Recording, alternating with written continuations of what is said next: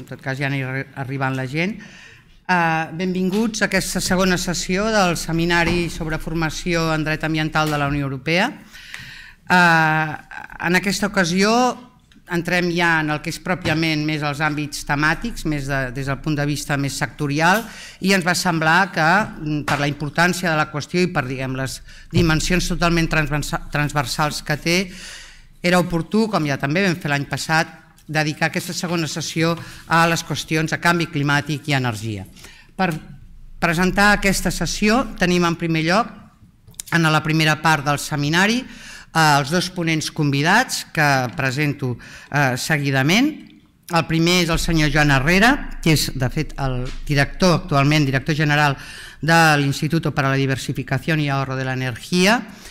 Eh, ell, com a advocat eh, exercent porta ja molts anys tractant qüestions relacionades amb l'energia i l'economia circular i a part, evidentment, doncs, de probablement la seva faceta política, que potser és més conegut pel públic en general, però en qualsevol cas ha sigut també de les persones que en el nostre entorn més immediat més eh, s'ha dedicat a aquestes qüestions.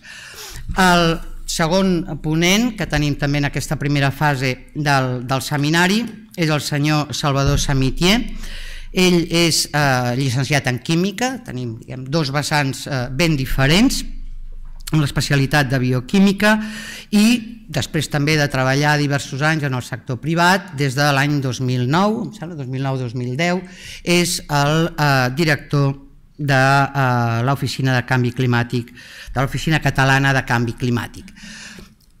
Dos perspectives, una des de la perspectiva més de eh, l'àmbit energètic, l'altra des de la perspectiva més global del canvi climàtic, que ens semblava que podien ser molt interessants per introduir també no només quina és la norma, quin és el dret de la Unió Europea en aquests aspectes, sinó com això després es trasllada en el nivell nacional i en el nivell autonòmic. Mm?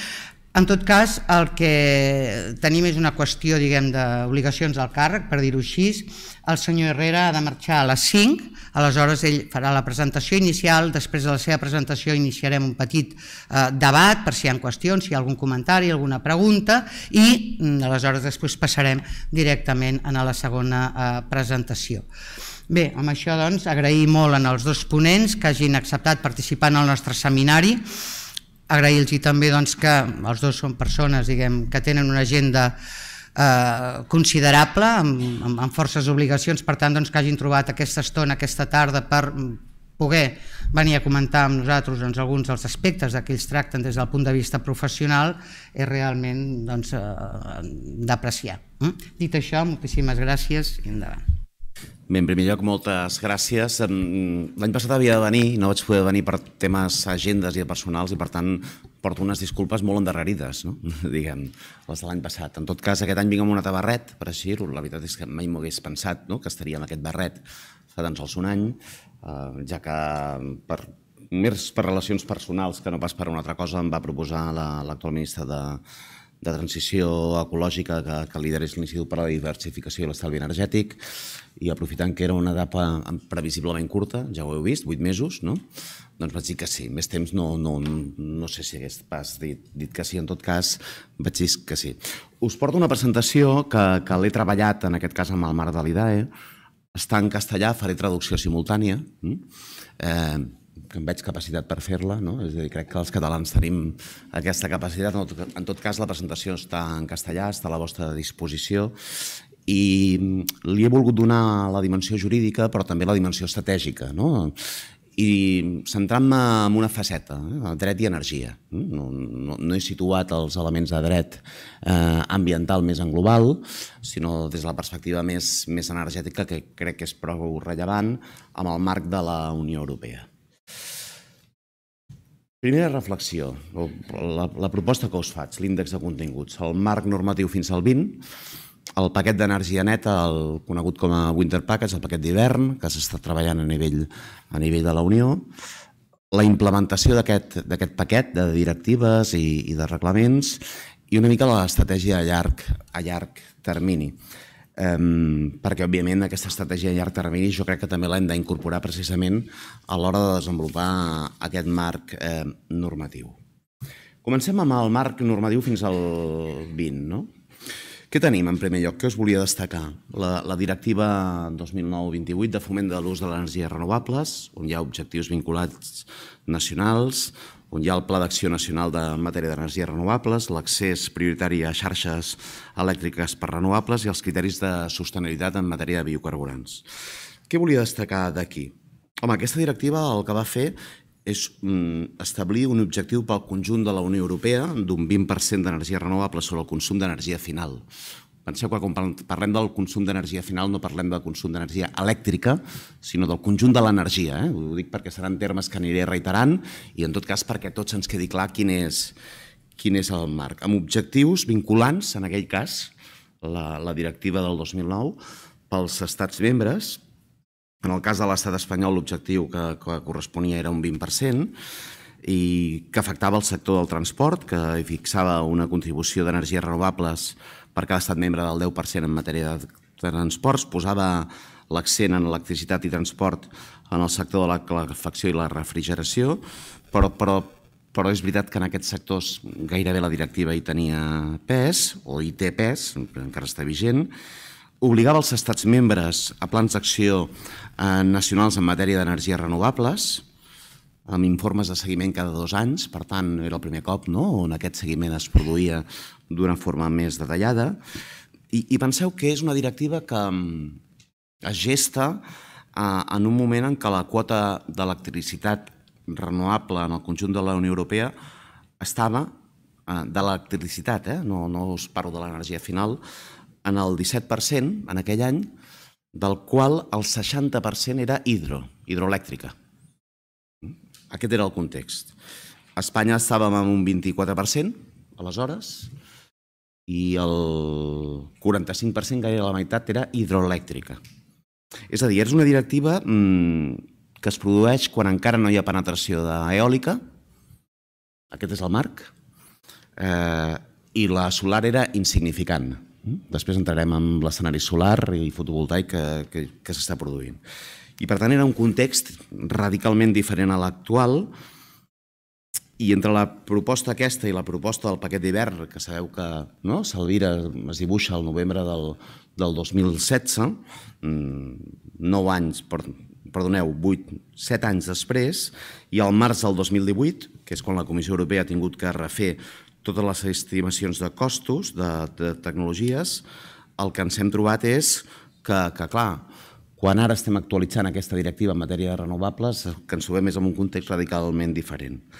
En el preàmbul de la directiva del 2009, del 2009 es diu eh, que és convenient donar suport a la fase de demostració i comercialització de les tecnologies descentralitzades de producció i energia renovable. El canvi cap a la producció descentralitzada d'energia suposa nombrosos avantatges, tals com la utilització de fons locals d'energia, una major seguretat de subministre local d'energia, trajectes de transports més curts i menors pèrdues per la transmissió d'energia. Aquesta descentralització fomenta mm, també el desenvolupament i la cohesió de la comunitat, al facilitar fonts d'ingressos i crear eh, llocs de treball a nivell local. Fixeu-vos, per primer cop, el 2009 es comença a parlar d'aquesta generació descentralitzada, tot i que aleshores no, mm, aquest no era un element central. Després veureu com entra amb molta força amb el que s'està treballant avui no? a Brussel·les, el que està el que està aprovat i el que està sent a punt de ser aprovat. En el preàmbul d'aquesta directiva es parla també del mercat emergent de consum de l'electricitat procedent de fonts d'energies renovables i és una directiva en la que es considera com un mercat emergent l'electricitat raonable i parla de l'electricitat renovable com una electricitat diferent a la hidroelèctrica. I parla per primer cop de les solucions descentralitzades, però això sí, posa l'accent en fase de demostració. Segon element que us volia destacar del marc normatiu fins ara, la directiva sobre eficiència energètica. On es van marcar uns objectius inicials a nivell nacional, amb plans d'acció nacional sobre eficiència energètica, amb sistemes d'obligació d'eficiència energètica, amb un paper exemplaritzant de l'administració pública, parèntesi, on que no s'ha complert, és una de les assignatures pendents, ja no de la directiva present que s'està treballant, sinó de la directiva, fixeu-vos, del 2012, i amb una avaluació realment completa del potencial de calor i fred eficient. Fixeu-vos, estem parlant ja de tres anys després no? de la directiva de, de renovables. En aquesta directiva es fixa un objectiu del 20% d'estalvi d'energia primària i final, no de l'electricitat, d'energia primària i final. Eh, comparat amb els escenaris de business as usual del que succeiria si no fessin res, i aquest objectiu del 20% mm, respecte al tendencial doncs és un objectiu que comença a tenir una dosi d'ambició. El consum d'energia primària a la Unió Europea diu que no ha de ser superior a 1.474 milions d'equivalents de, de tonelades de petroli eh, d'energia primària eh, o de 1.078 d'energia final en el 2020. I els plans d'acció sobre eficiència energètica s'han de presentar cada 3 anys, que ens trobem, per tant, amb un element d'avaluació constant, si en renovables serà cada dos anys, aquí cada tres anys, un element que és clarament rellevant. De fet, el pla actual està vigent, eh? és un pla vigent del 17 al 2020 que, que està vigent, que està vigent. Els estats membres han d'establir un sistema d'obligacions d'eficiència energètica sobre les empreses comercialitzadores d'energia.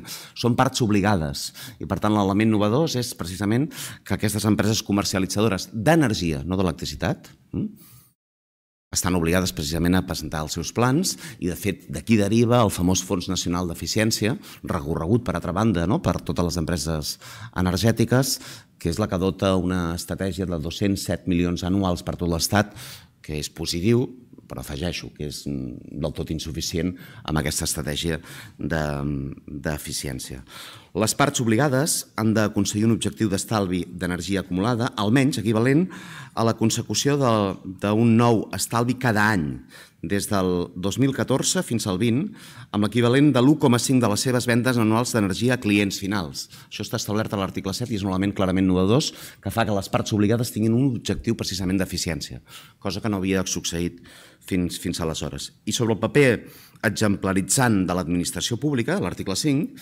cada estat membre ha de garantir des del 2014 el 3% de la superfície total dels edificis en calefacció i refrigeració que renovaran mm, en els edificis a partir de 500 metres i a partir del 2015 era a partir dels edificis de 250 metres eh, quadrats. Això no ha succeït, aquest 3%, i no podem acusar una administració o, en tot cas, podem acusar totes, mm? jo diria, perquè aquest objectiu en matèria d'eficiència no?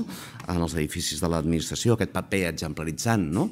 del que parlava la directiva, no, no ha succeït.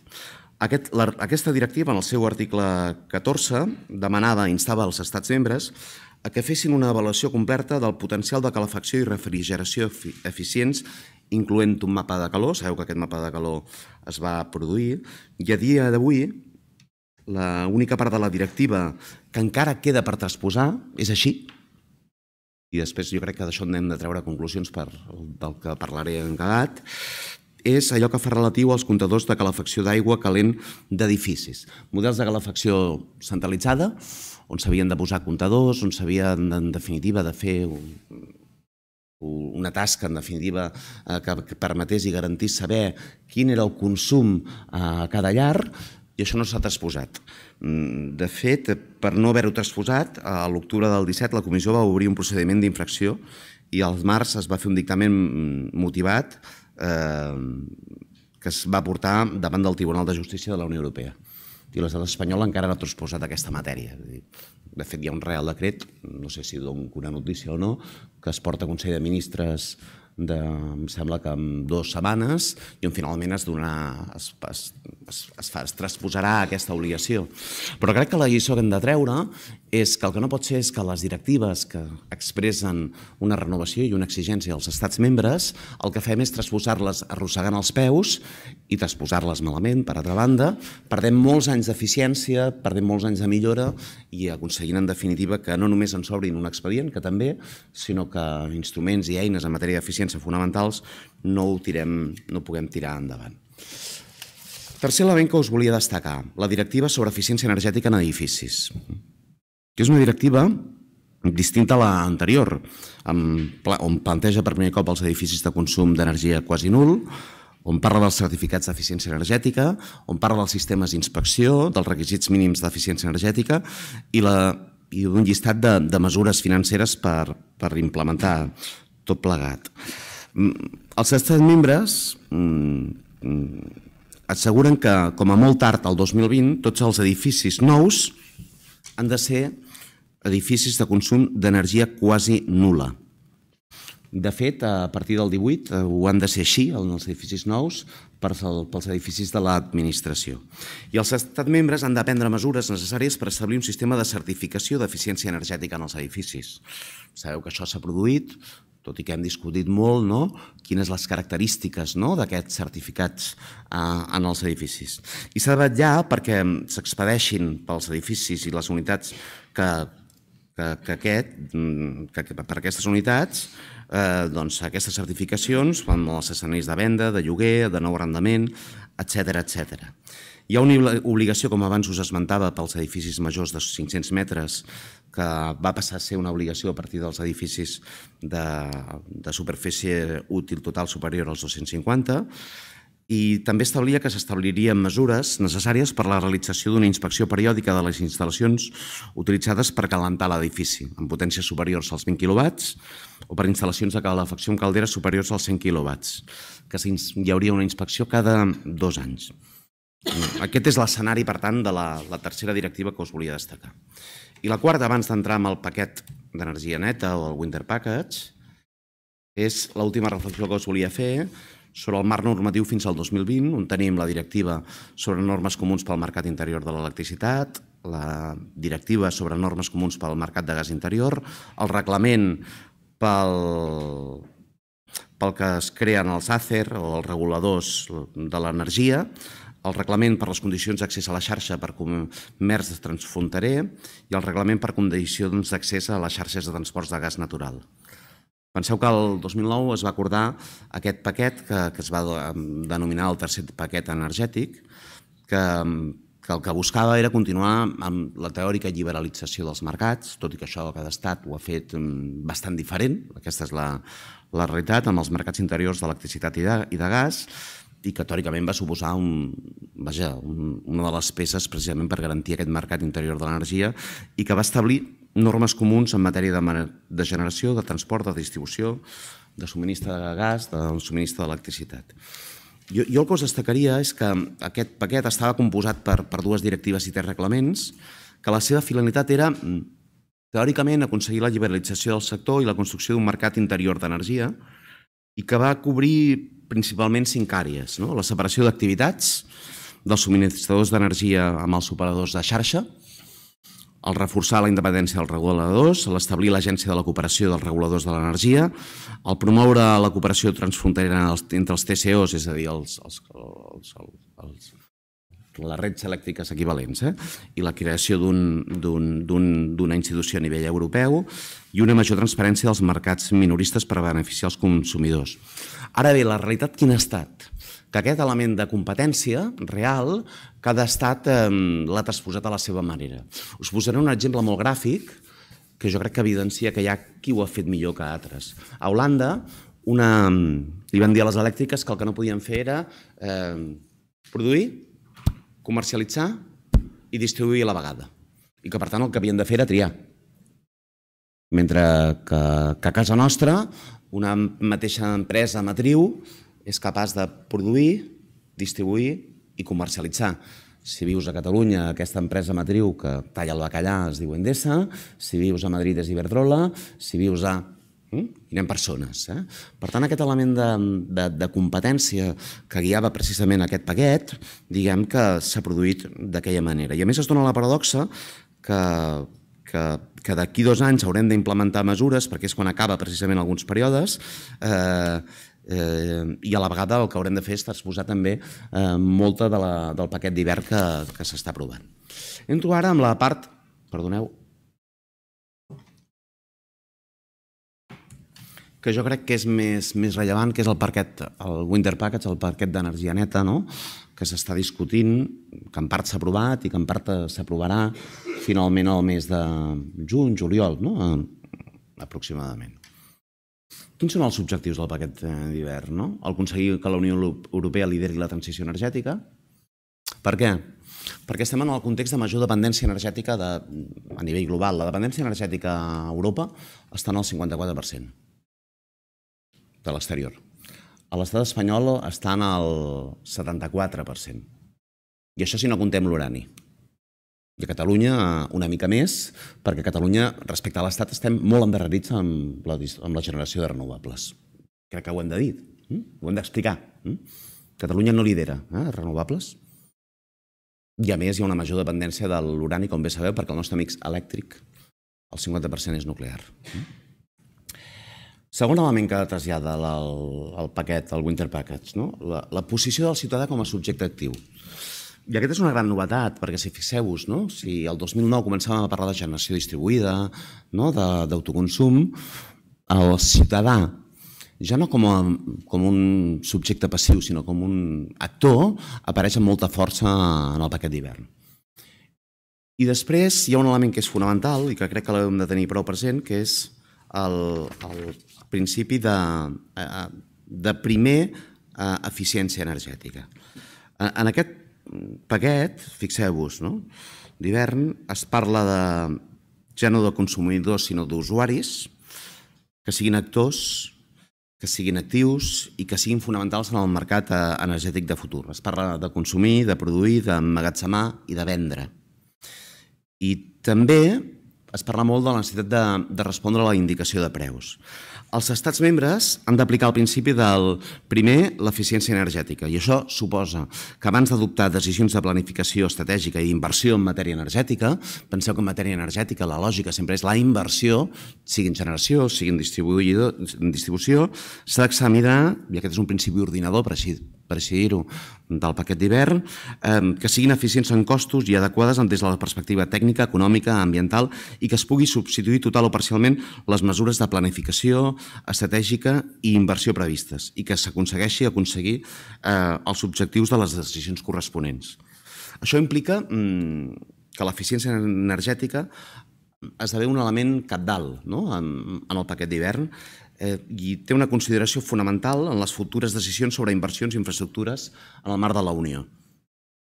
Entre les alternatives eficients en costos figuren mesures destinades a dotar de major eficiència la demanda i el subministre d'energia i en particular mitjançant estalvis d'energia en l'ús final eficient de costos, iniciatives per a les respostes a la demanda i una transformació, transmissió i distribució més eficient de l'energia. I a més, els estats membres han de d'ajudar a la difusió del principi d'aquest principi entre les administracions. I així ho estableix la directiva en el preàmbul 64 del reglament de, de governança. Fixeu-vos, no? quin és el marc? El marc és aquestes tres directives, la directiva de foment d'ús d'energies renovables, la directiva d'eficiència energètica, la d'eficiència energètica en edificis, ja aprovades en el 2008, el reglament de mercat interior, del que en parlaré i que crec que porta novetats importantíssimes, que teòricament s'ha d'aprovar el juny, juliol, d'acord?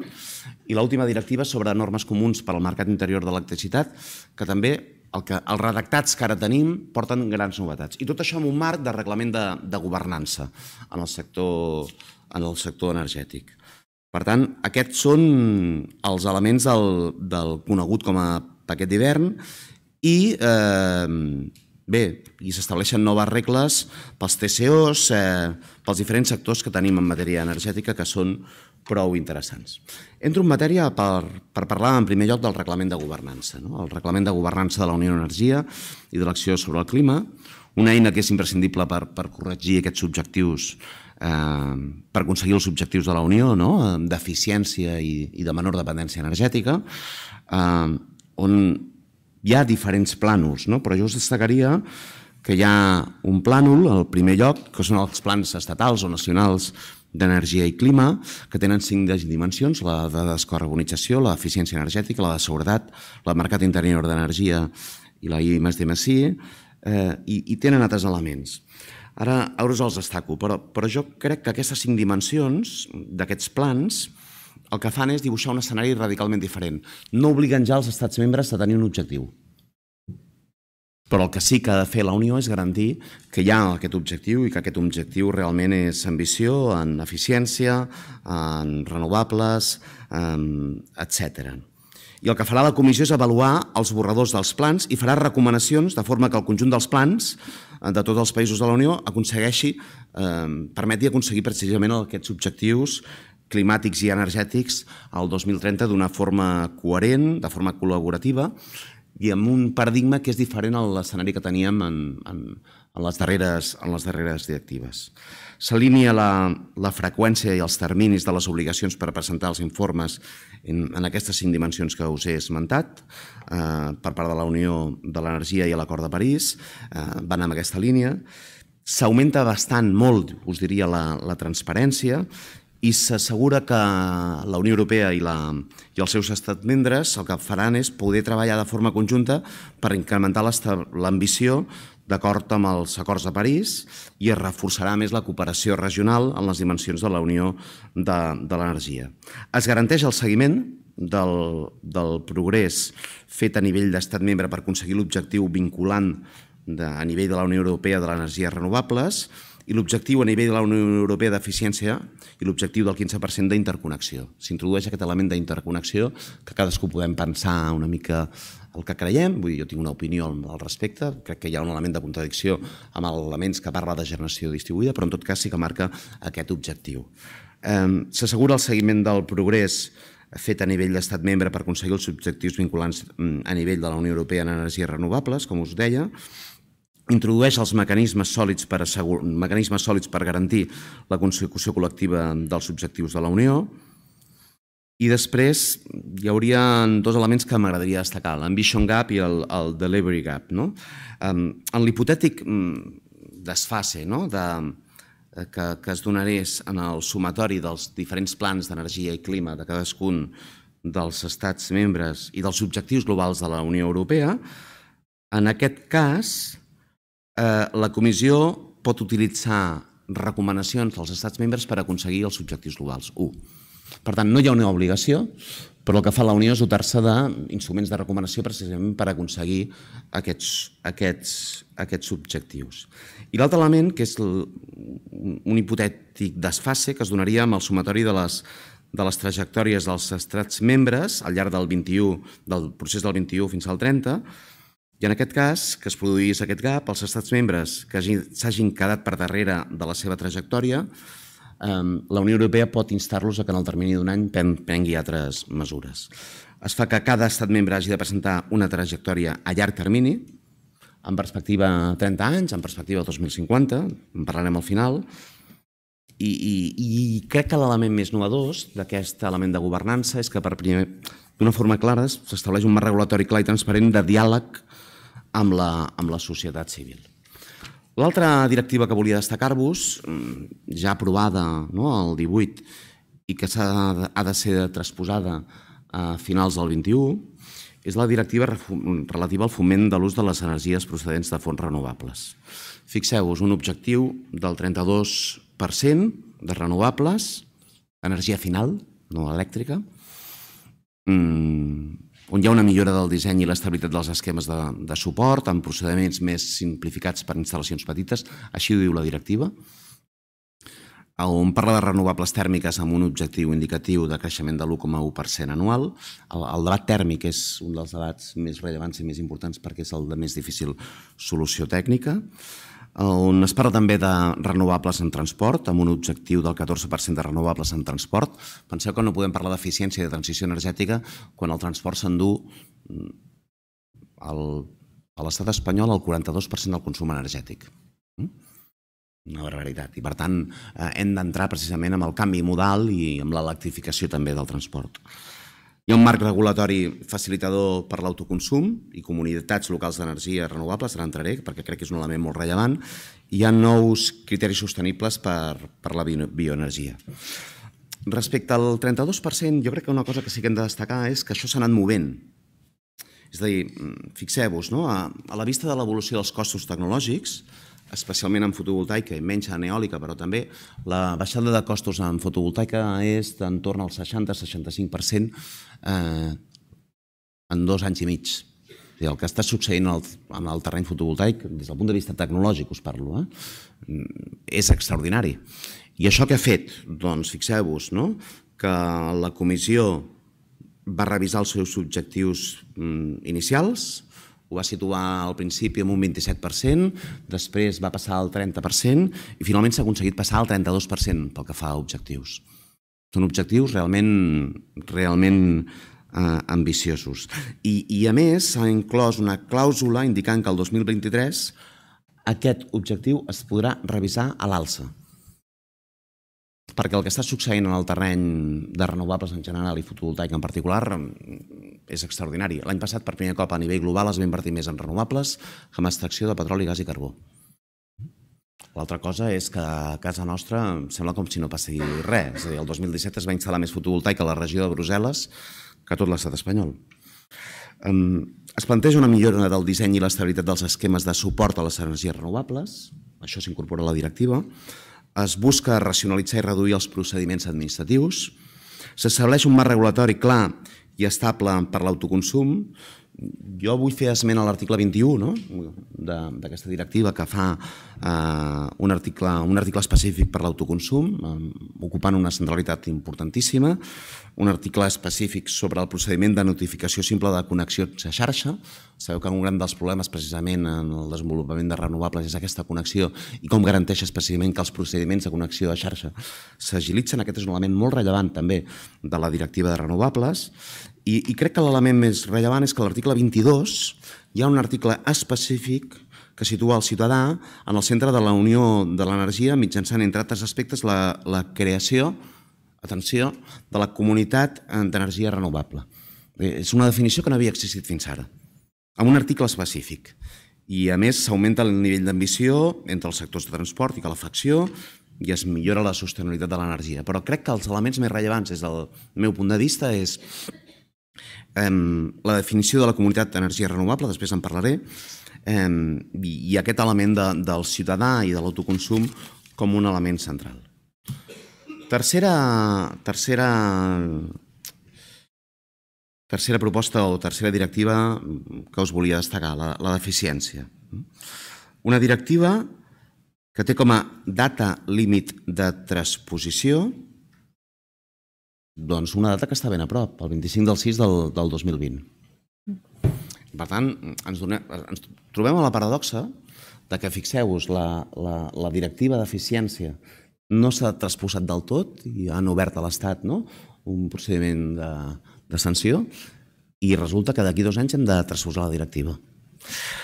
Objectiu final global no? de la Unió Europea, un, un 32% al 2030, eh, amb, amb 956, 956 milions d'equivalents de, de, de tonelades de petroli, menys no, si descomptem el Regne Unit, eh, perquè òbviament no, eh, amb una previsió de sortida del Regne Unit això es quedaria amb 846. S'amplia l'obligació anual d'estalvis més enllà del 2020, un 0,8 d'estalvi anual de, de mitja. Es reforça, es reforça perdó, les normes de, dels comptadors individuals, això que no hem fet, eh, i de la facturació d'energia tèrmica, eh, se situen normes transparents a disposició del públic sobre el repartiment de costos del consum de calefacció en edificis. Penseu que a casa nostra, a Catalunya, això no és tan... és habitual, però no tant, però a nivell europeu és molt, i a nivell de l'Estat, no? a, a, les zones centrals de l'Estat, per exemple, és, és bastant habitual i s'encaden les barreres existents de mercat amb, comporta, de mercat amb comportament i regulatoris. No? Eh,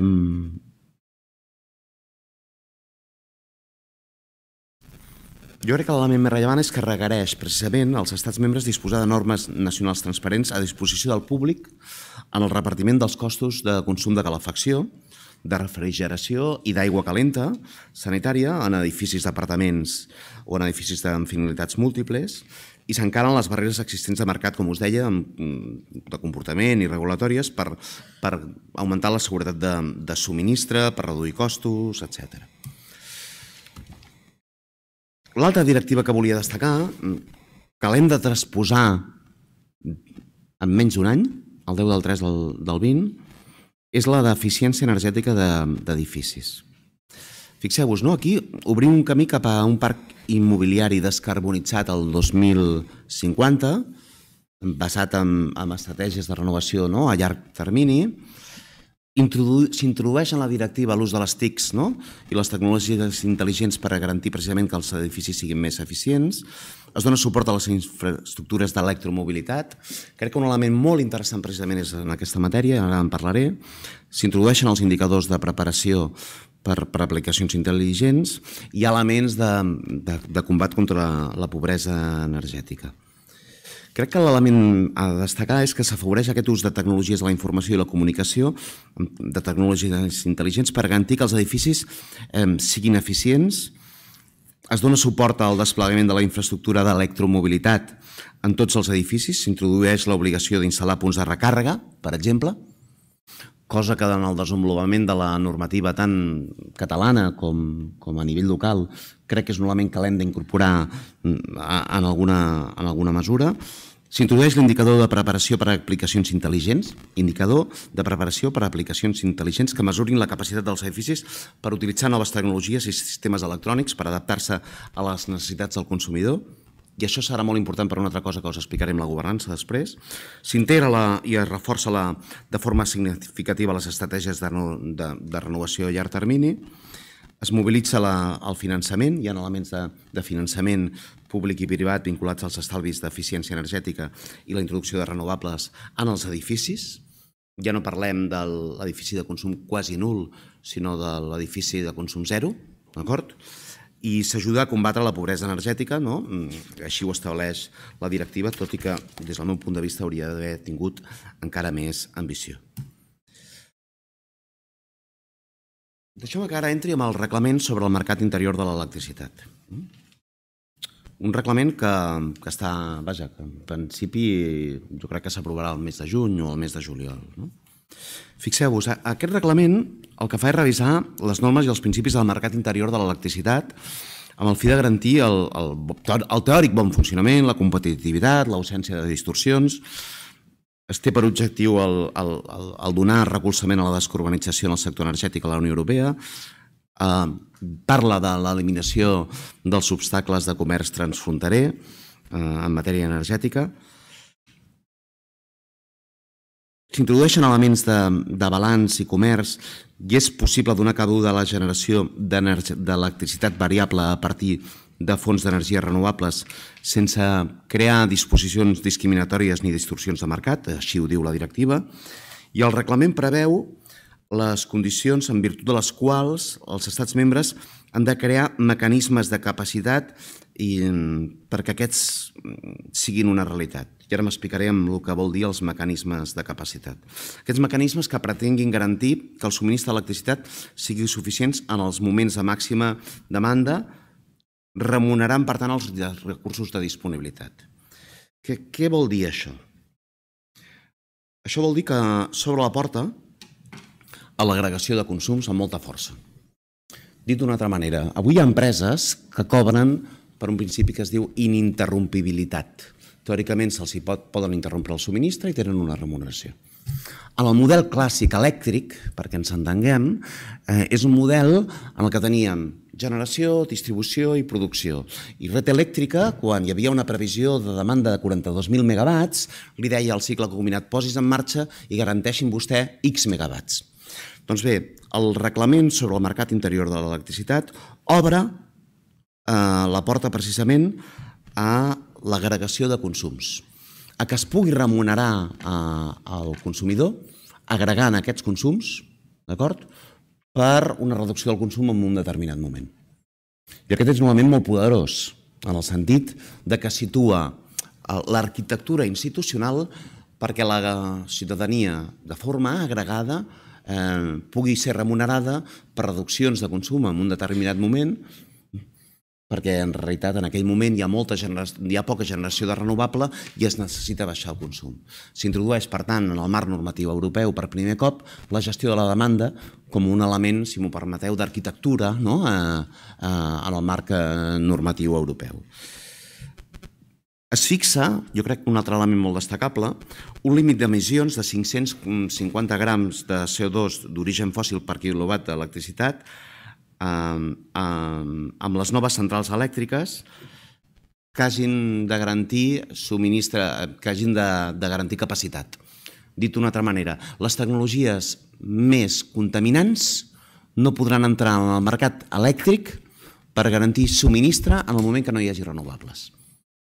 Us ho dic perquè en aquests dies que es parla tant del carbó i al final del carbó i aquestes dades el que ens diuen és que les centrals tèrmiques més contaminants no podran operar i que això serà mm, d'una forma clara, diu, les, les centrals elèctriques que emetin més de 500 grams de CO2 d'origen fòssil per quilowatt i una mitjana de 350 eh, eh, quilograms de CO2 a l'any per quilowatt instal·lat mm, mm, podran participar en els mecanismes de capacitat fins al 1 de juliol del 2025. Us semblarà un element menor, però no ho és, no ho és gens aquest.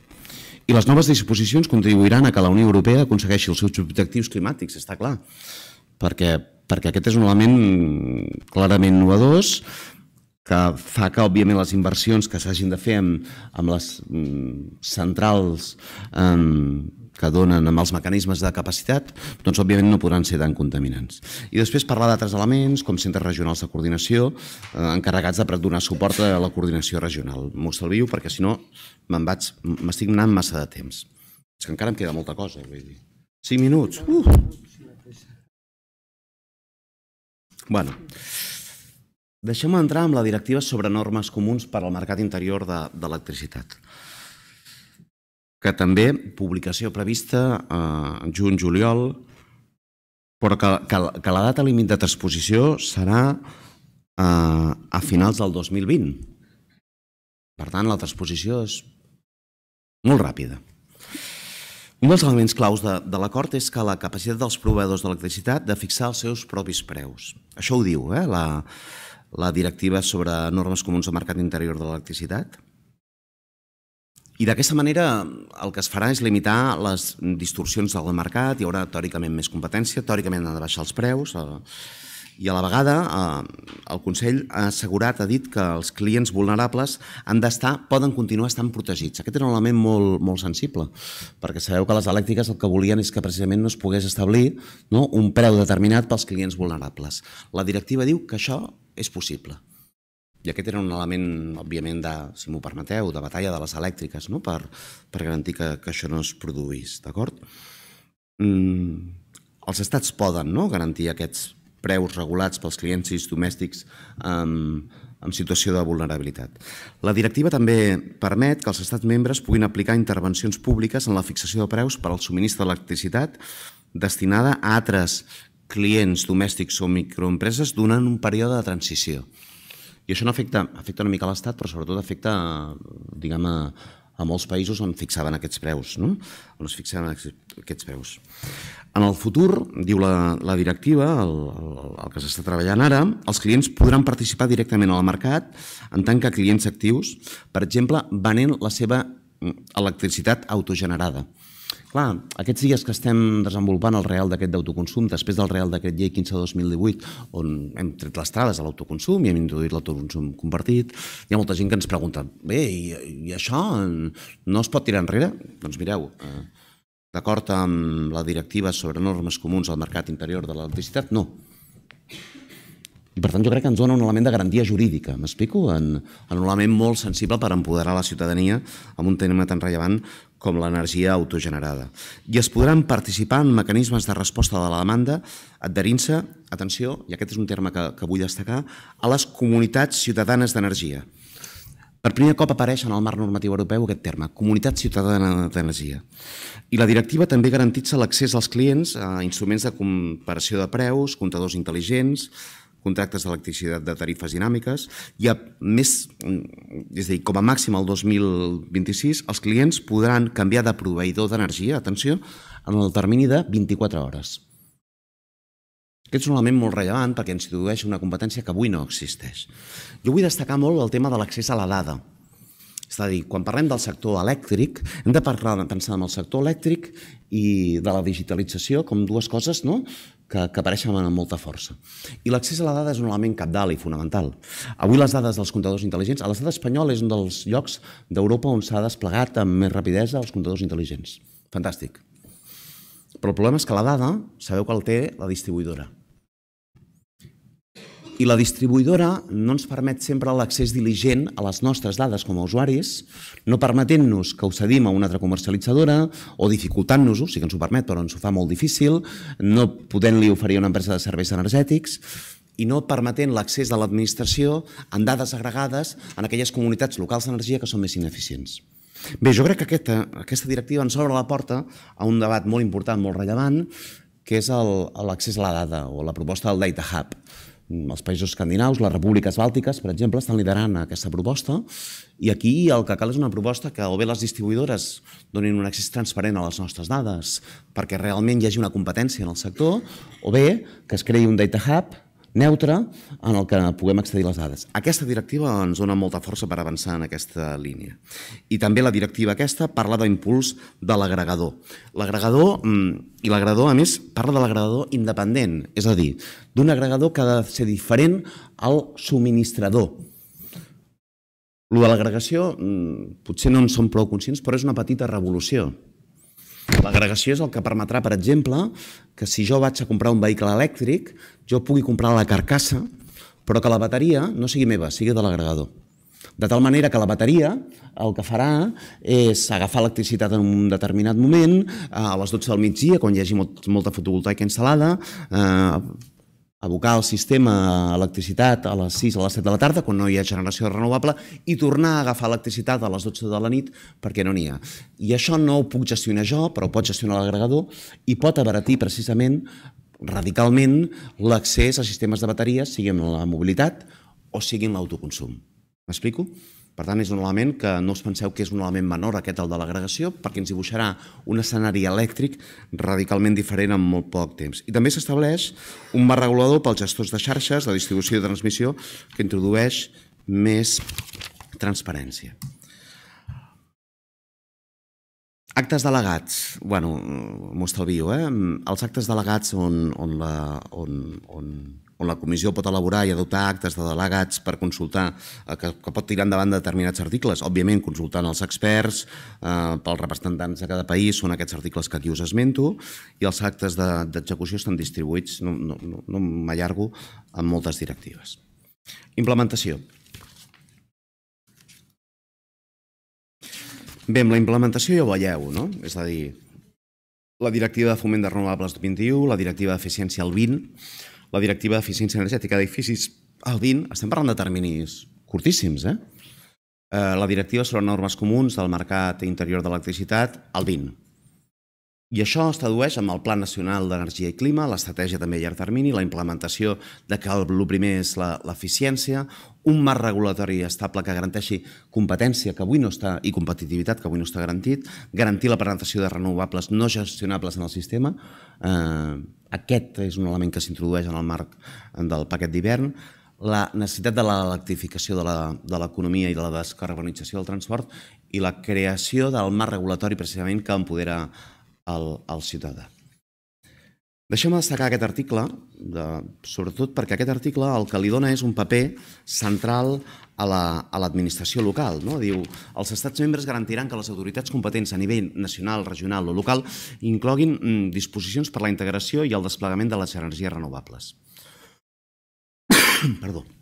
Es parla de planificació, d'incloure la planificació urbana mm, temprana, mm, com, com ho traduïm, temprana? Tinc un la, eh? primerenca, però la veritat és que em sona, perdoneu, eh, em sona cursi, eh? eh, eh dissenyar, construir, renovar les infraestructures urbanes.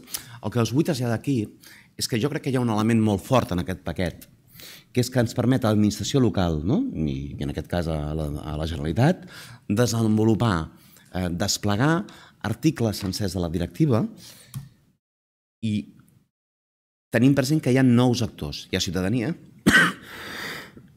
hi ha comunitats locals, comunitats d'energies renovables definit per primer cop, hi ha comunitats ciutadanes d'energia definit per primer cop, hi ha agregadors independents I clar, jo crec que, fixeu-vos bé, no? Comunitat Ciutadana d'Energia. És una entitat jurídica que participa voluntària i oberta que està efectivament controlada per accionistes o membres que siguin persones físiques, autoritats locals, inclosos els municipis o petites empreses, mmm, que el seu objectiu principal sigui afavorir beneficis medioambientals, econòmics o socials als seus membres o a la localitat en la que desenvolupa la seva, la seva activitat, uh, més enllà de generar una rentabilitat financera. De comunitat ciutadana d'energia pot participar a la generació, inclosa l'energia procedent de fonts renovables, la distribució, el subministre, el consum, l'agregació, l'emmagatzematge d'energia, la prestació de serveis d'eficiència, la prestació de, de serveis de recàrrega per vehicles elèctrics o de serveis energètics als seus membres o accionistes. Aquest és un element que és radicalment novedós, no? I per tant, clar, ens dibuixa un escenari on hi ha un objectiu de més del 70% d'electricitat renovable al 2030, amb models que, que es giren cap a recursos energètics distribuïts, eh, molt diferents al model de generació centralitzada no? eh, que es consumeix no? a, a, a quilòmetres de distància, eh, adequant la, la xarxa per descomptat i amb criteris de connexió, amb elements d'emmagatzematge per proporcionar aquesta gestionalitat i flexibilitzant la demanda fent que aquest concepte de la ininterrupabilitat que s'aplicava als grans consumidors s'introdueix amb molta força en el consum. No? Crec que aquests són elements mmm, que ens obren un escenari clarament nou. I com us deia, no? la directiva sobre normes comuns de mercat interior ens defineix agregació i el més important és que ens defineix l'agregació independent. Terme, diguem, desconegut fins ara, però que irromp amb molta força per aconseguir precisament que en el sector energètic i elèctric en particular hi hagi una gestió de demanda desconeguda fins ara, però quan parla de l'agregador independent, el que t'està parlant és de la multiplicitat d'actors i no dels sectors tradicionals. Fixeu-vos, diu, l'agregador independent, un participant en el mercat que porta a terme activitats d'agregació i que no està afiliat al subministrador del seu client. En el moment que ens permet l'entrada precisament d'aquests sectors, el que ens introdueix és una competència que no existeix en el sector elèctric, com a mínim a l'estat espanyol i tampoc a Catalunya. Mm? I per tant, si m'ho permeteu, ens revoluciona d'alguna manera amb una lògica, amb la lògica dels recursos energètics distribuïts, on poden entrar tecnològiques la informació, comunicació, però també comunitats locals d'energia. Fixeu-vos, una llavor que hem, jo crec que hem sembrat és en matèria d'autoconsum compartit. En el Real Decret Llei va ser una batalla, com dia escriuré, eh, també interna, vam aconseguir que l'autoconsum compartit pogués ser no? amb aquells que comparteixen xarxa eh, i transformador. En el Real Decret que enviarem al Consell d'Estat d'aquí poc, hem aconseguit que sigui la comunitat local d'energia, autoconsum compartit, sigui ja entre aquells que comparteixen línia de baixa tensió fins a 500 metres. Sabeu què vol dir això? Que en un barri la coberta fotovoltaica no té per què estar en la taula de pitjor instal·lada, no té per què estar al meu edifici, pot estar al del costat, que en un poble la instal·lació fotovoltaica pot estar fora i que a més li podem sumar miniòlica i biomassa i per tant fem de l'energia un vector de canvi de l'economia molt potent. Però permetem que el marc normatiu acompanyi i no que el marc normatiu sigui un obstacle. Però fixeu-vos, aquestes directives el que ens donen és, si m'ho permeteu, una certa tranquil·litat, no? en el sentit de que van alineades precisament en aquest marc normatiu que estem treballant. I, i, i l'article 17, i aquí acabo, no? Tinc, em queda l'estratègia a llarg termini, però la, deixo per una altra ocasió. No? Com a llarg termini tenim temps, d'aquí el 2050, no us preocupeu que ens tornarem a veure. No? L'agregació la, la, en el paquet d'energia neta, no? la, en el Winter Packets. Bé, diu, els estats membres garantiran que els seus marcs reglamentaris pertinents continguin almenys següents elements. I diu, normes i procediments no discriminatoris i transparents per l'intercanvi de dades entre els participants en el mercat que participen en l'agregació i amb altres empreses elèctriques que garanteixin l'accés fàcil a les dades en condicions equitatives i no discriminatòries, al mateix temps protegeixin eh, i plantegin la informació comercial sensible i les dades personals dels clients. Acabo ja amb una última reflexió. Jo crec que, que, aquest, que aquest paquet d'hivern el que ens obre és un escenari d'oportunitats sense precedents, però que no, no ho hem de fiar tot al, a la transposició estatal, des del meu punt de vista. I que la, la directiva d'eficiència, en particular,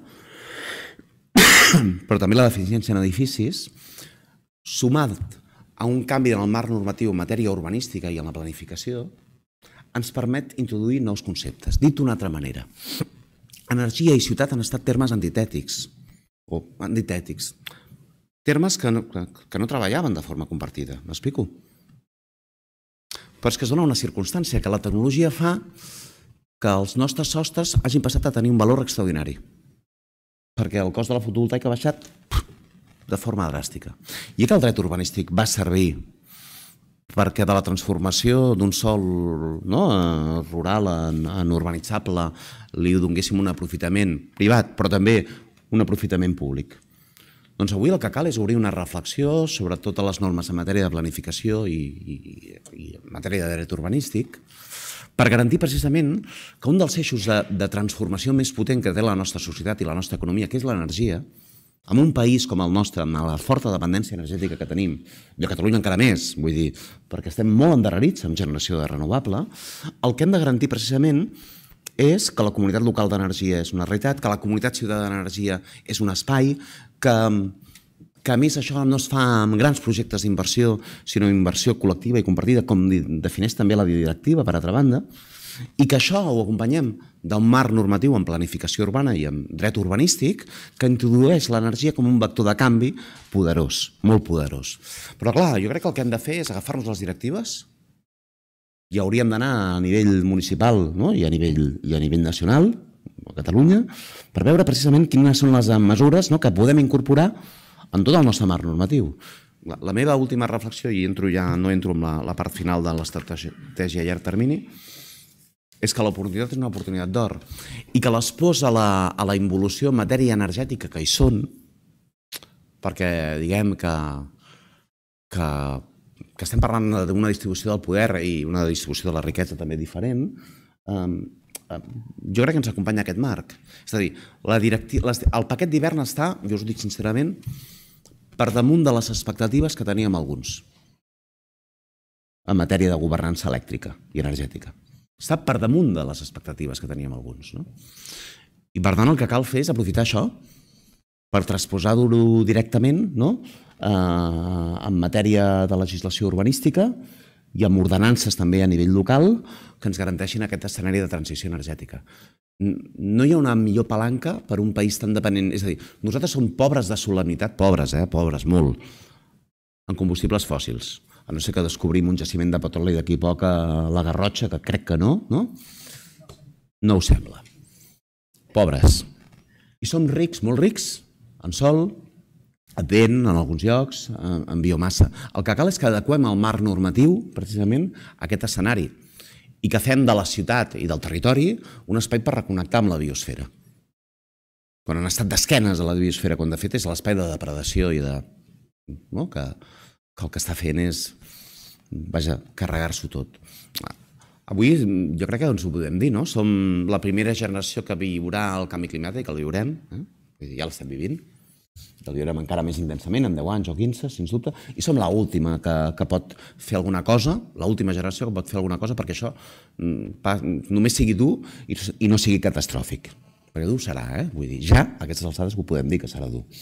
Però, però, però el que podem aconseguir encara és que no sigui catastròfic. Doncs bé, un país com el nostre, amb forta dependència energètica, pot fer d'aquest escenari precisament un escenari d'oportunitat. I el que volia traslladar-vos és que el paquet d'hivern, no? que, que us he esmentat, no? ens brinda una oportunitat, una oportunitat extraordinària amb elements que introdueixen democràcia, competència, no? i que sobretot empoderen a la ciutadania. I aquest és un element molt fort no?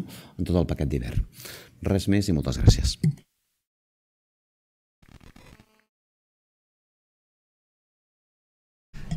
Moltes gràcies.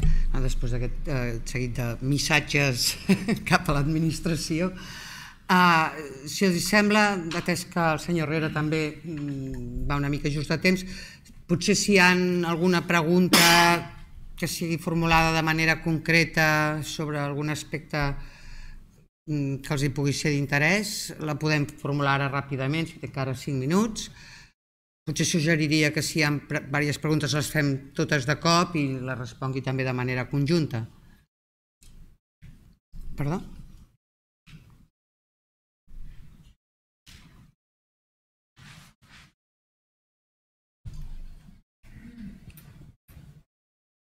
Sí. Hola, bona tarda.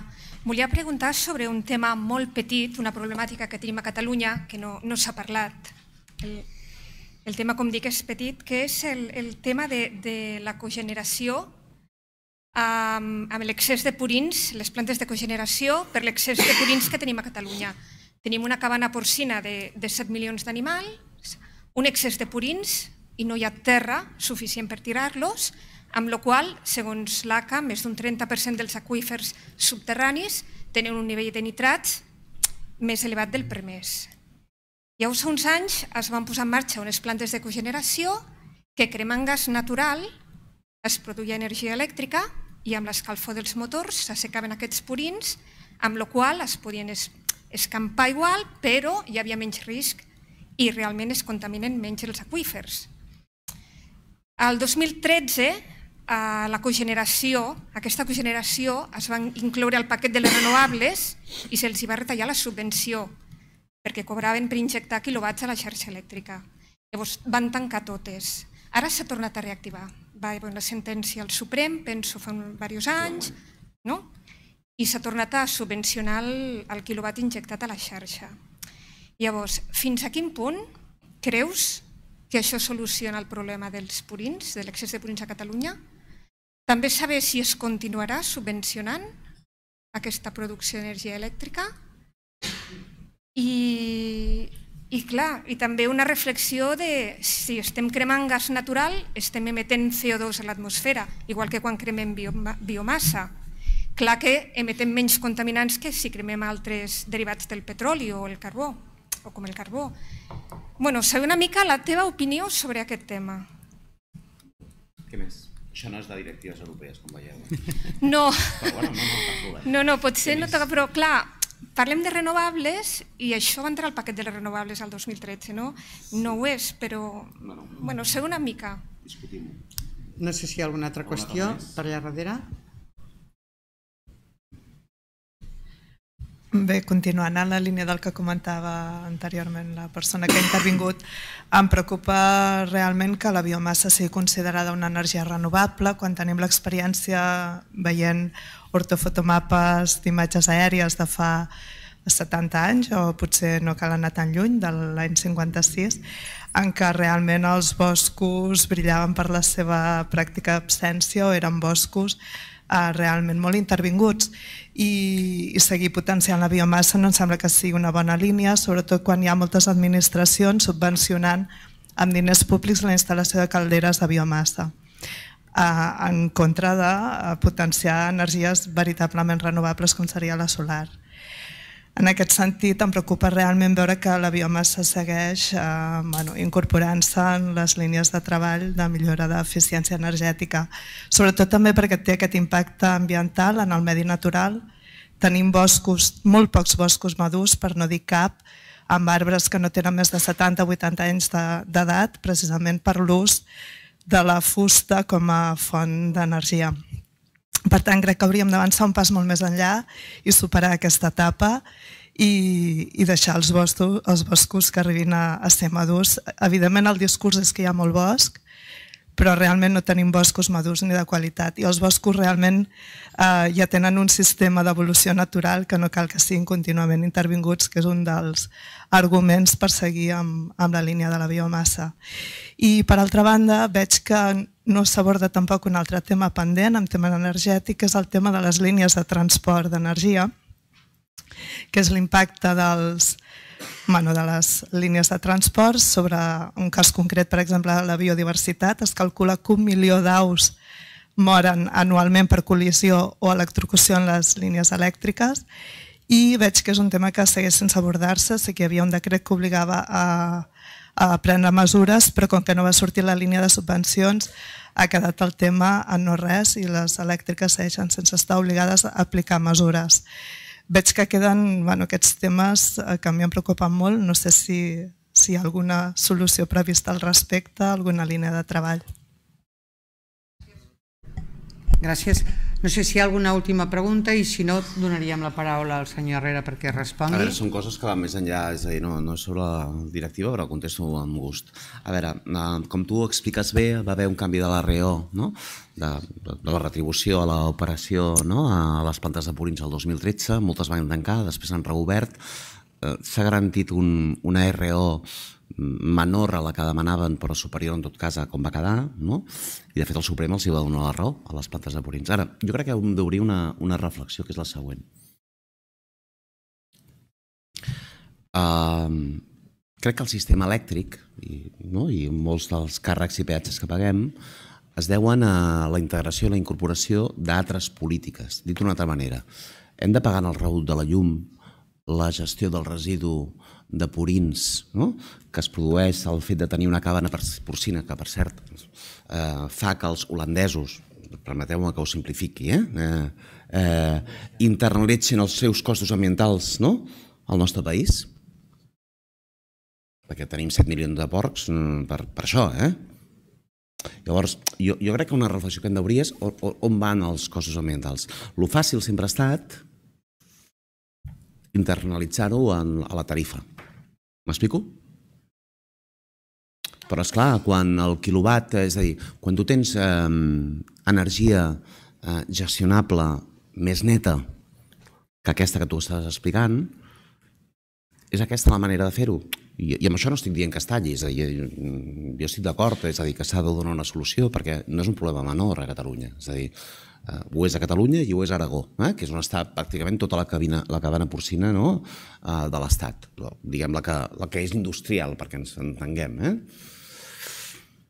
Però la reflexió que ens hem de fer és, és el sistema elèctric el que ha de resoldre això? Jo amb això no estic dient eh, que es tregui...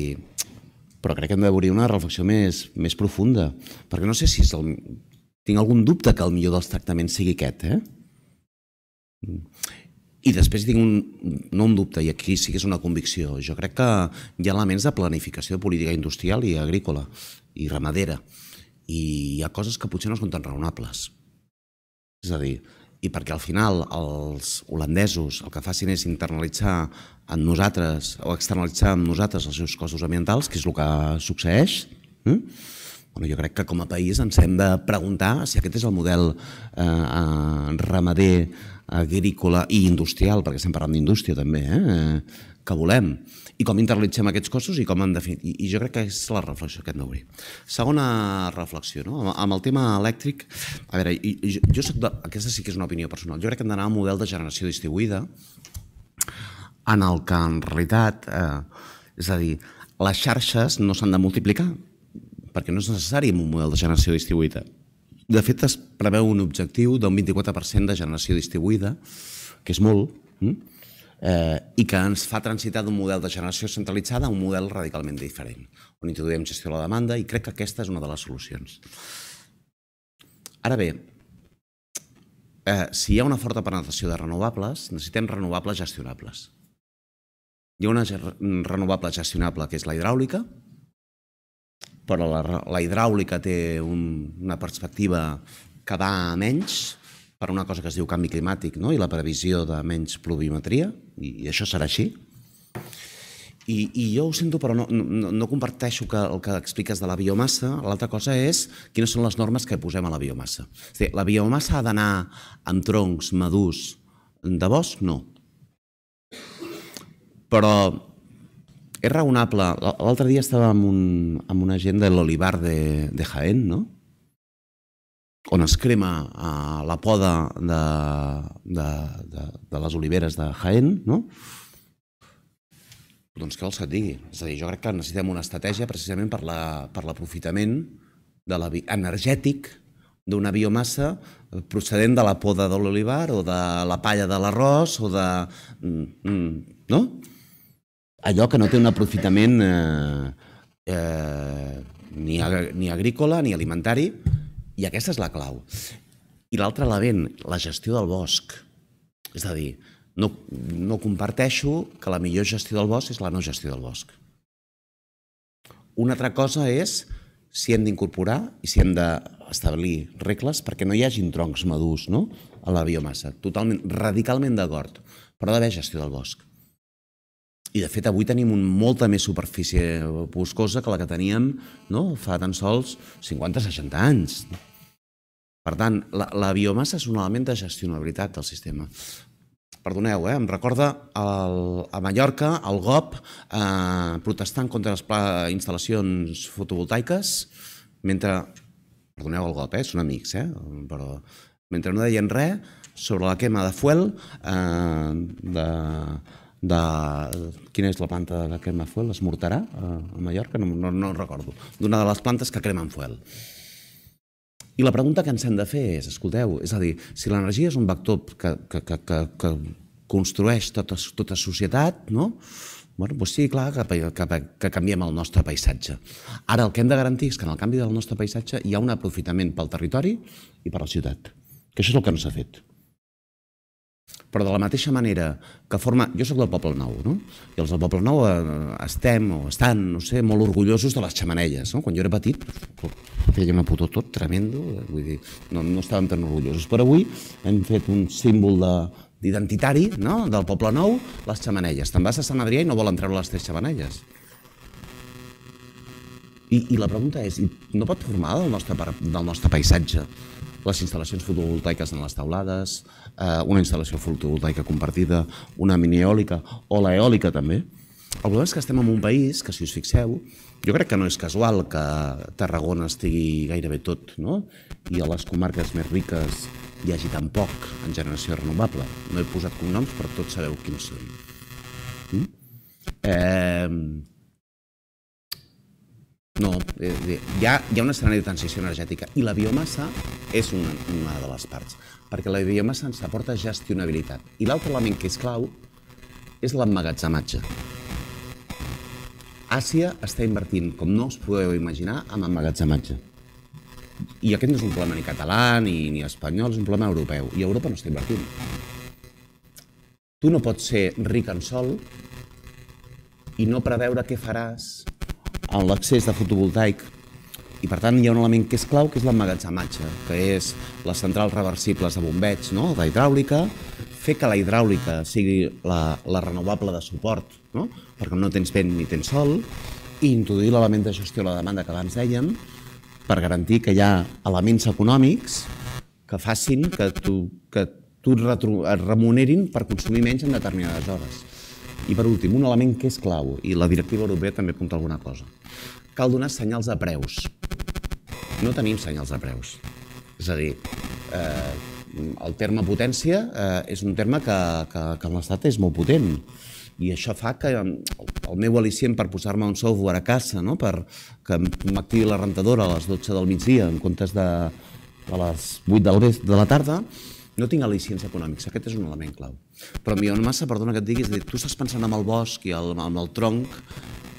Sí, sí, jo, jo, jo no et dic pas que no hi hagi biomassa, eh, gent que fa biomassa fa així, però el que et dic és que avui les grans instal·lacions de biomassa que s'estan pensant procedeixen de la poda agrícola. Mm? Sí, sí, sí, sí. Nosaltres tenim dades a nivell d'idea, hi ha molt, hi ha, però per exemple a Andalusia hi ha una, una, un desenvolupament de biomassa molt potent a partir dels usos agrícoles. No? A Catalunya no ho sé.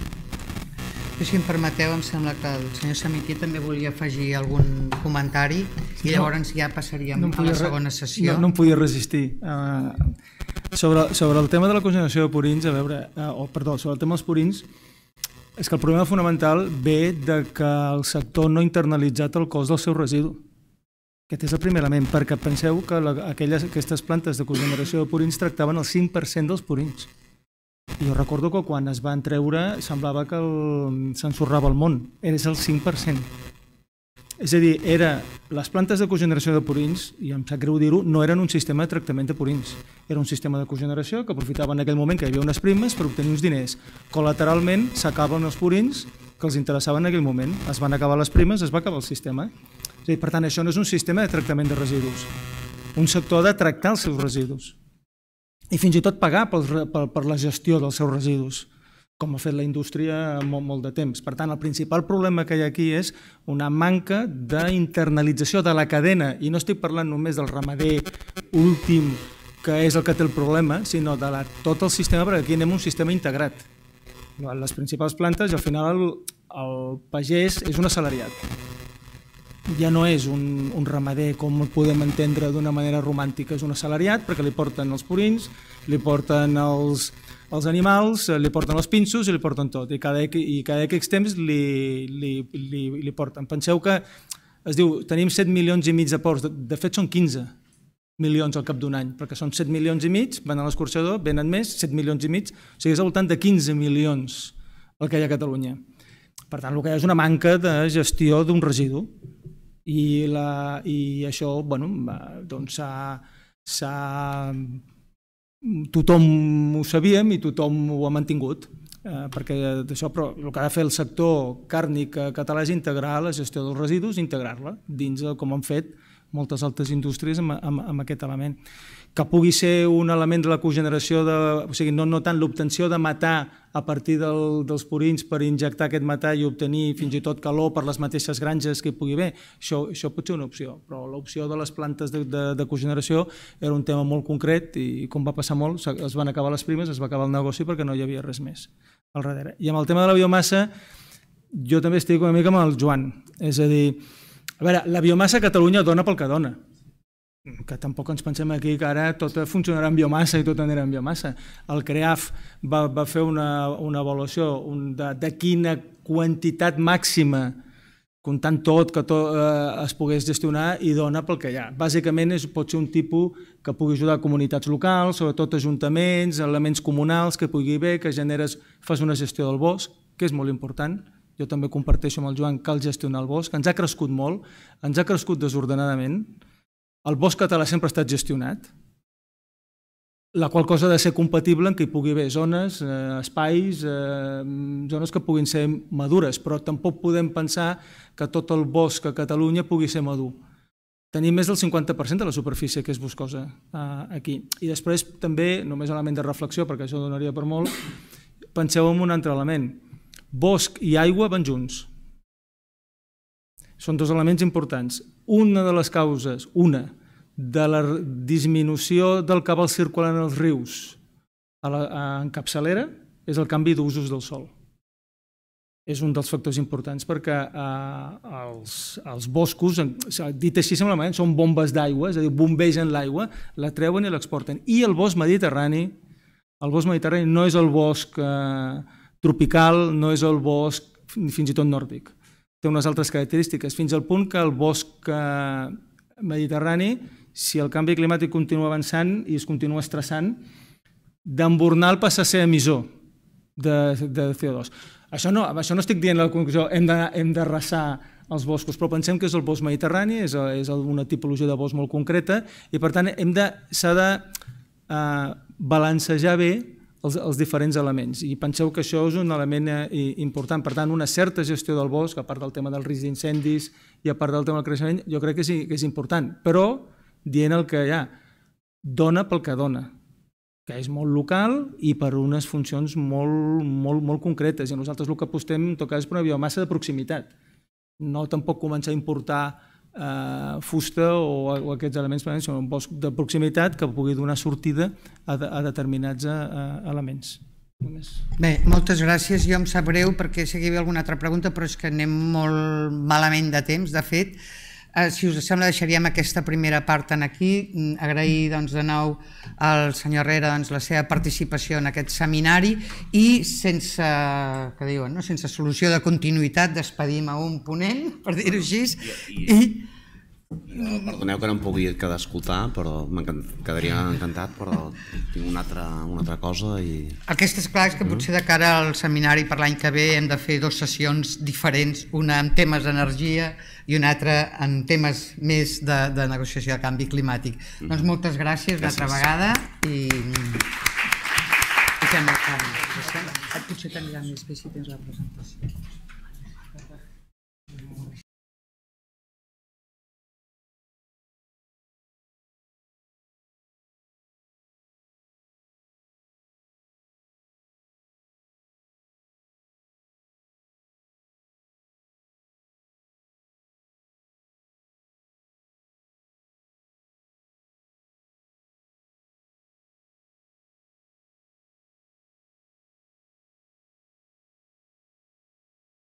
Que eh, actualment és el eh, director està al front al davant de l'Oficina Catalana de Canvi Climàtic i de fet la seva presentació des d'aquesta perspectiva era una mica el plantejament de quins són els grans reptes no? que eh, des de la perspectiva de la gestió del canvi climàtic afronta doncs, el nostre país. Molt bé, doncs moltes gràcies. En primer lloc al centre doncs, donar-vos les gràcies per haver-nos convidat. Um, faré bastanta referència a algunes de les coses que ha comentat en Joan. Jo, com que abans he comentat, soc químic, no sóc uh, advocat, tot i que de vegades no ho sé, perquè ja tants anys d'administració ja se m'ha oblidat bastant la química i, i conec més de, de, de decrets i de, i de lleis, però la meva exposició no és tant fer un repàs de les normatives, sinó una mica quins són els reptes o com es veuen les coses, donar-vos alguna informació, eh, de fet elements per la reflexió eh, en, aquest camp. En primer lloc,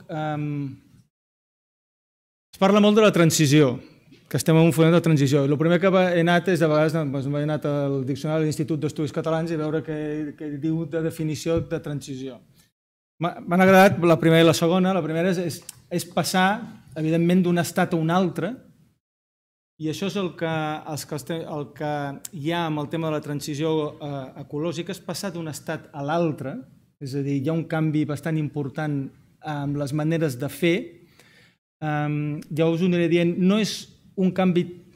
El més important no és la tecnologia, aquí, ara, en aquests moments.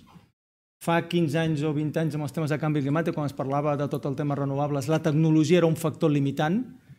Pues no, l'eòlica començava, però l'eficiència era la que era, la fotovoltaica se l'esperava, però no hi era, i potser no se l'esperava tan ràpid com hem tingut. En aquells moments hi havia un element tecnològic eh, que limitava el tema. Ara no, la tecnologia no és un factor. Això no vol dir que no hi hagi millores i que, i que la cosa vagi sempre millor, però no és el factor limitant. El factor limitant és social i cultural amb aquesta transició. I l'altre, que també em feia molta gràcia, el de gràcia m'ho perdonareu, però parlava d'un procés polític no violent, això de la violència aquí a Catalunya és un concepte complicat, pel qual una comunitat modifica la seva forma de governar-se. I el Joan ha parlat molt amb el tema de les directives i, i aquest element noves formes de governar-se. El que hi ha darrere de tot el tema energètic és, en el fons, noves formes de govern.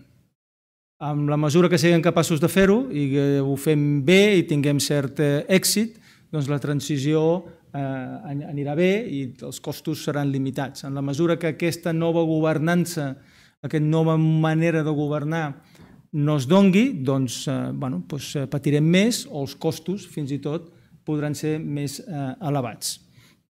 Des d'una òptica del canvi climàtic nostre, que tot ens ho mirem per tones de CO2 equivalent, els energètics ho miren tot amb tonades equivalents de petroli o en quilowatts, nosaltres això, això és el que ha passat a Catalunya des dels anys 1990. Uh, veureu un creixement molt important des dels anys 90 fins a l'any 2005-2007, que s'estabilitza, una baixada, molt important, molt abrupta. Uh, evidentment, uh, la crisi econòmica d'aquests anys uh, dura doncs, incideix molt perquè ralenteix molt l'activitat, la gent es, mou menys, hi ha menys mobilitat, hi ha menys activitat industrial, menys activitat econòmica, les emissions redueixen. Això és així fins al 2013. El 2013 deixem de disminuir les nostres emissions i des del 13 fins ençà, aquí arriba el 16, no tenim les dades, eh, diguéssim, oficials del 17, però tot apunta a que va amb el mateix camí. Estem en una pauta de creixement, de creixement de les emissions. No tant, podríem dir, en aquests moments com ho vam tenir dels anys 90 cap endavant, però estem en una fase de, de creixement.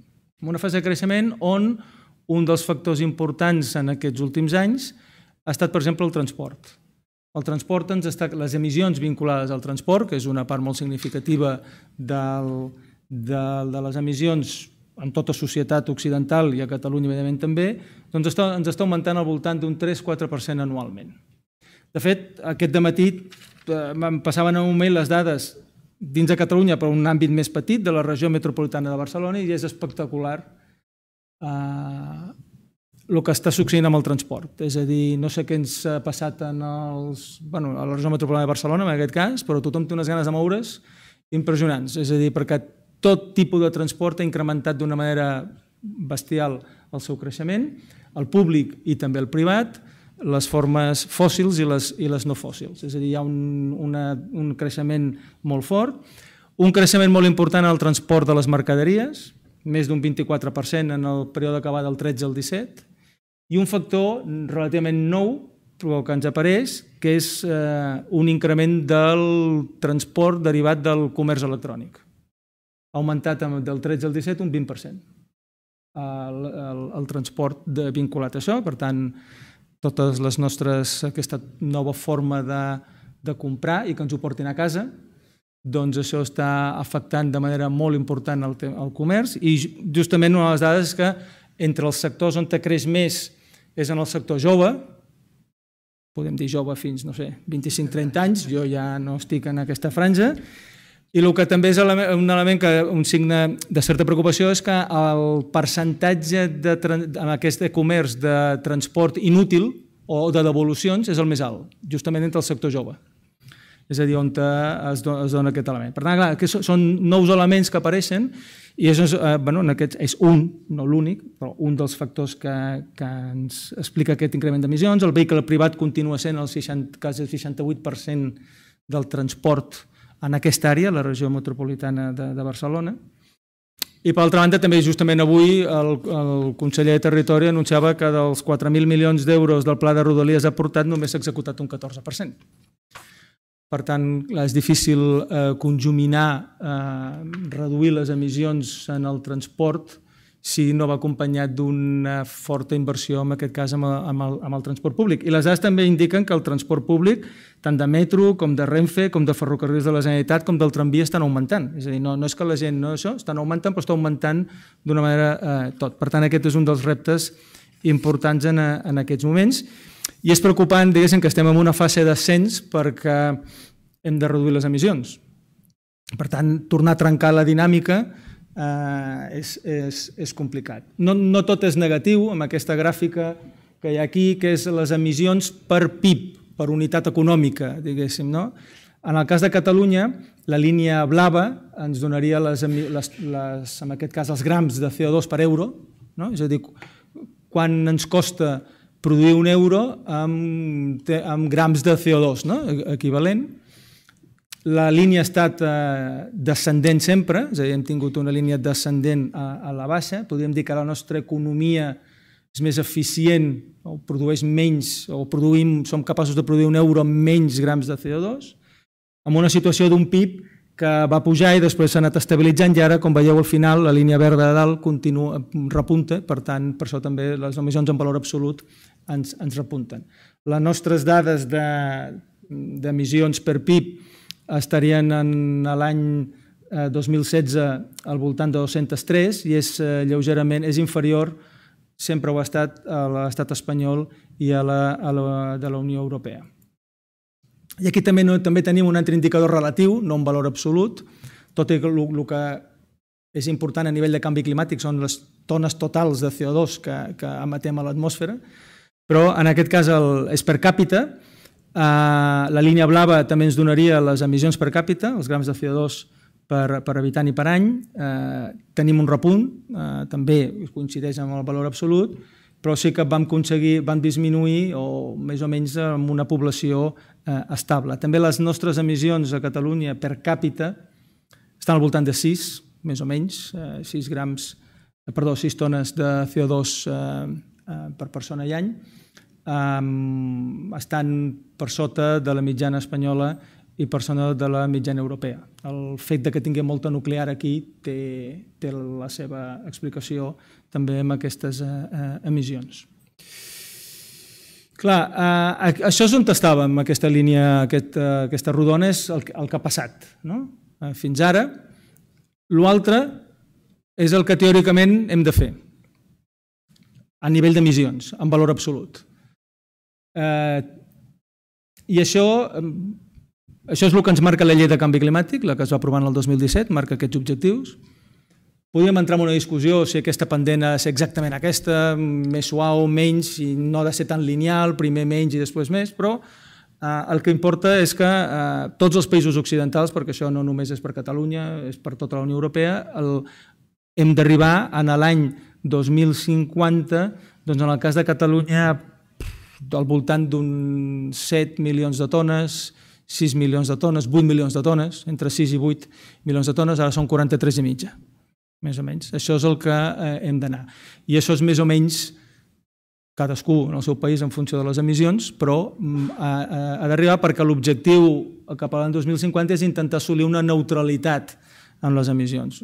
Hi ha, un, hi ha unes quantes emissions que serà molt difícil de reduir, perquè hi ha emissions que no estan vinculades a l'energia, hi ha emissions que estan vinculades a l'agricultura, mm, la fertilització, la ramaderia eh, i alguns altres factors, els residus, els abocadors, durant un temps encara continuaran, eh, vull dir, hi ha alguns elements que serà difícil, però hem d'arribar aquí per aconseguir la neutralitat. La neutralitat vol dir deixar, un, evidentment, tenir un residual d'emissions i intentar compensar aquest residual d'emissions amb, amb, amb ja siguin naturals, bàsicament els boscos i algun altre element, es parla de vegades de l'agricultura com, a, com a factors i si ho sabéssim fer, però de moment això encara està molt, que no està molt clar, tecnològicament la capacitat de detraure CO2 de l'atmosfera. La, no? Però d'alguna manera fer aquest eh, embornal.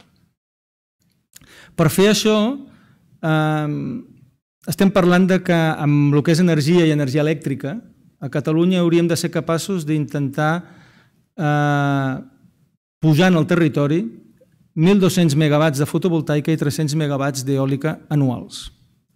Això no ho hem fet mai. Vull dir, en aquest ritme eh, no, no s'ha fet mai. És evidentment que això no vol dir que cada any ho haguem de fer, perquè els, els parcs o això no aniran així, però aquest és, el ritme és un repte realment monumental de canvi de el que hem conegut eh, eh, fins ara. Estem parlant d'uns valors, uns, uns números, uns percentatges que la, en la nostra història, la nostra, la d'Occident, doncs no, no, no han tingut lloc i per tant això de vegades arriba a, fer, a ser difícil d'imaginar o, o de visualitzar com es pot arribar a fer això perquè no tens una experiència passada que et, et, et dongui alguna pauta de com eh, poder-ho fer. Um, aquest és el que es marca a nivell europeu, aquesta és la, dir, la senda, el camí per diferents sectors.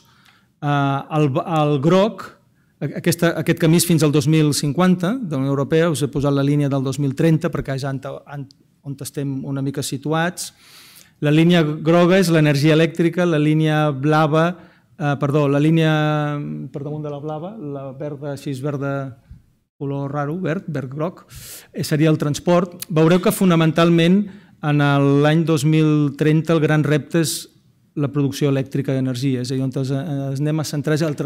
Les altres coses han de disminuir, el transport ha de disminuir, però la part més important del transport a disminuir se situa probablement entre el 30 i el 50. El gran repte ara en aquests moments és com fer la transició de la producció d'energia de formes fòssils a formes no fòssils. Aquest és el gran repte que hi ha a la, a la propera eh, eh dècada. Uh, I en aquesta gràfica està extreta del pla integral que ara està en informació pública per part de l'estat espanyol.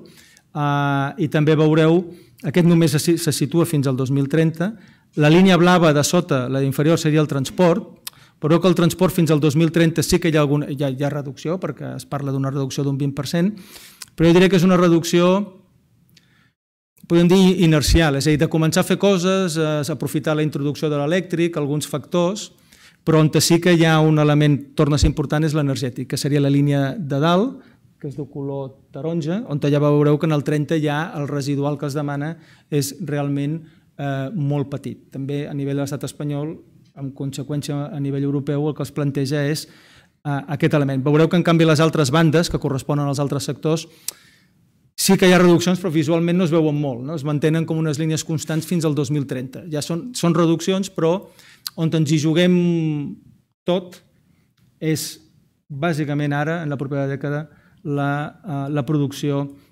elèctrica fonamentalment i energètica en, en general.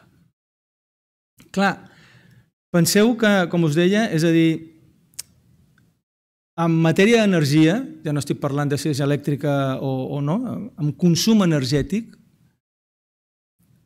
la, la gràfica que tenim és la que hi ha aquí. És a dir, aquesta gràfica, la línia blava, la, la dalt de tot, la primera, de dalt, és el consum energètic mundial, estimat, evidentment, perquè ens anem fins al 1750, ningú allà ho calculava, però mitjançant estimacions, des del 1750 fins ara. És la línia blava. És a dir, eh, l'ésser humà és un enorme consumidor d'energia, és un gran consumidor d'energia. És a dir, fem el que fem i estem on estem perquè consumim grans quantitats d'energia. Les nostres societats són complexes i consumeixen grans quantitats d'energia. Uh, penseu que l'any uh, 1930 hi havia uh, 2.000 milions d'habitants, aquest era el consum, 20.000 teravats any, és un número molt gran, aproximadament eren 23.000 quilocalories per dia i uh, habitant, eren 9 vegades el consum biològic, si el centrem en voltant de 2.500 quilocalories. No? Um, a l'any 2010 ho hem multiplicat per 20, el nostre consum energètic per habitant. No? 20 vegades més que el que biològicament seguim necessitant. Un ésser humà biològicament necessita el mateix ara que el 1930 que el 1750. Biològicament eh, necessitem el mateix, les mateixes quilocalories. Eh, hem multiplicat la població per 3,5 de l'any 30 del 2010, però hem multiplicat el consum d'energia per 7,4. Aquest és l'entorn en el qual nosaltres estem. I no sembla, no sembla que a nivell de consum energètic no sembla que la cosa, la pauta vagi a canviar. És a dir, no sembla que eh, anem a una situació de menys consum energètic en global. Mm? És a dir, amb això jo eh, el, el concepte del decreixement el posaria, almenys en el que és energèticament, en, en quarantena. Potser perquè sóc químic i perquè sóc bioquímic de, de, de formació, però de, de, de formació i de deformació, segurament. Però no conec cap sistema biològic més complex que consumeixi menys energia que el sistema que estigui per sota des del punt de vista de complexitat. I sistemes més complexos acostumen a, a consumir, a necessitar més energia per poder mantenir aquella complexitat. I jo crec que les nostres societats estan augmentant la seva complexitat. Per tant, el nostre entorn global és que el consum energètic augmentarà i, entre altres coses, perquè em penseu una cosa, en aquesta gràfica una, una gran part del món no, està, no suma en aquí, perquè Àfrica, grans llocs d'Àfrica, alguns llocs d'Àsia fins ara no sumaven amb el consum energètic i ara comencen a sumar. Però, per exemple, la Índia continua tenint 300 milions de persones sense accés a l'electricitat, avui en dia encara. Per tant, eh, és, per tant, no sembla que a nivell global eh, l'energia ens vagi a, a disminuir. Per tant, això encara ens augmenta molt el, el, el repte. I un altre, perquè també us una, una mica idea, que també està extret, si és com l'anterior era d'un estudi de l'UPC, aquest és d'un altre treball, també fent estudis sobre, des de que hi ha éssers humans al món, doncs eh, la part de la població que ha viscut des de la revolució industrial fins ara, que és un 0,01% de l'espècie, ha consumit el 80% de tota l'energia que ha consumit tota l'espècie humana, em sembla que parla de entre fa 7 i 10 milions d'anys. Des del primer Australopithecus, diguéssim, fins ara, les persones que han viscut de la revolució industrial ara han consumit el 80% de tota l'energia que l'ésser humà des de que està a la Terra ha consumit. Per tant, som grans consumidors d'energia. Una mica això és una idea per, per al context en el qual eh, eh, ens trobem i les dificultats que representa el que, el que hi ha. Clar, també és molt important de vegades amb això com mesurem les coses. La gràfica de la meva... Bueno, la gràfica de l'esquerra el que ens diu és que uh, més, uh, més GDP perdó, en aquest cas més PIB, aquí està en anglès, GDP, més PIB, més energia. No? O més consum d'energia et dona més PIB. I pràcticament aquí estan tots els països, en funció dels seus consums i el seu PIB, amb una línia, i quasi, quasi tots s'agrupen amb una línia recta. No? Per tant, és una, és una relació lineal fins ara. No? És a dir, l'indicador PIB està relacionat directament, o fins ara, amb l'energia. Per tant, és lògic que tots els països vulguin tenir més PIB i, per tant, consumir més energia, perquè hi ha una relació directa. Passa que l'altra gràfica és un altre indicador, que és l'indicador de, um, del, del nivell de, el nivell de vida dels adaptats països. No? És a dir, no mesura no només el tema econòmic, sinó l'índex de desenvolupament humà, que inclou altres coses. Aquí que no només eh, el PIB i la part més econòmica. I ens veureu que aquí la gràfica és una mica diferent. Sí que al començament hi ha una relació directa entre el consum d'energia eh, amb aquest índex, és a dir, per tant, a més energia per càpita t'augmenta l'índex de desenvolupament humà, per tant, les societats estan en una millor situació, però això arriba a un punt que ja no, que ja no serveix, és a dir, hi ha el punt d'inflexió i a partir d'aquí, per molta més energia que consumessis, realment l'indicador no t'augmenta, no et puja, no estàs millor. Podríem dir-ho en termes no ets més feliç perquè consumessis més eh, terabytes o més gigabytes. És una altra manera de veure. Per tant, des d'aquesta altra òptica, eh, probablement podríem començar a qüestionar molts dels modes i les maneres que tenim del nostre sistema de consum i en concret el nostre, eh, el nostre consum energètic. Per tant, també és important, allò que us deia, de cara a la governança del futur, quins són els indicadors que anem agafant com a societat. Si continuem agafant el PIB tradicional tal com el tenim, està clar, necessitem més energia. Si agafem l'índex de desenvolupament humà, dius, home, potser no, fins a un cert nivell, i a partir d'aquí ja no és necessari tant consum eh, energètic. També hem de tenir en compte altres, altres eh, aspectes que a vegades s'obliden. Eh, el primer és una que es diu la, la identitat de, de Calla, que és el tema de les emissions. Es diu que les emissions eh, globals estan formats per aquests quatre factors, no? és a dir, la població que hi ha al món, el PIB per càpita, el que sigui ric, la quantitat d'energia necessària per produir una unitat de PIB i la quantitat de gasos d'efecte hivernacle per unitat d'energia produïda. Multiplicant els quatre factors et dona el total de les emissions. N'hi ha, ha dos que són tecnològics, evidentment. Eh, la capacitat eh, de produir mm, l'energia amb més o menys fòssils és un tema tecnològic. La capacitat de produir més riquesa amb l'energia que tens també té un factor important tecnològic i n'hi ha altres dos que no, que són la població i el, el PIB per càpita.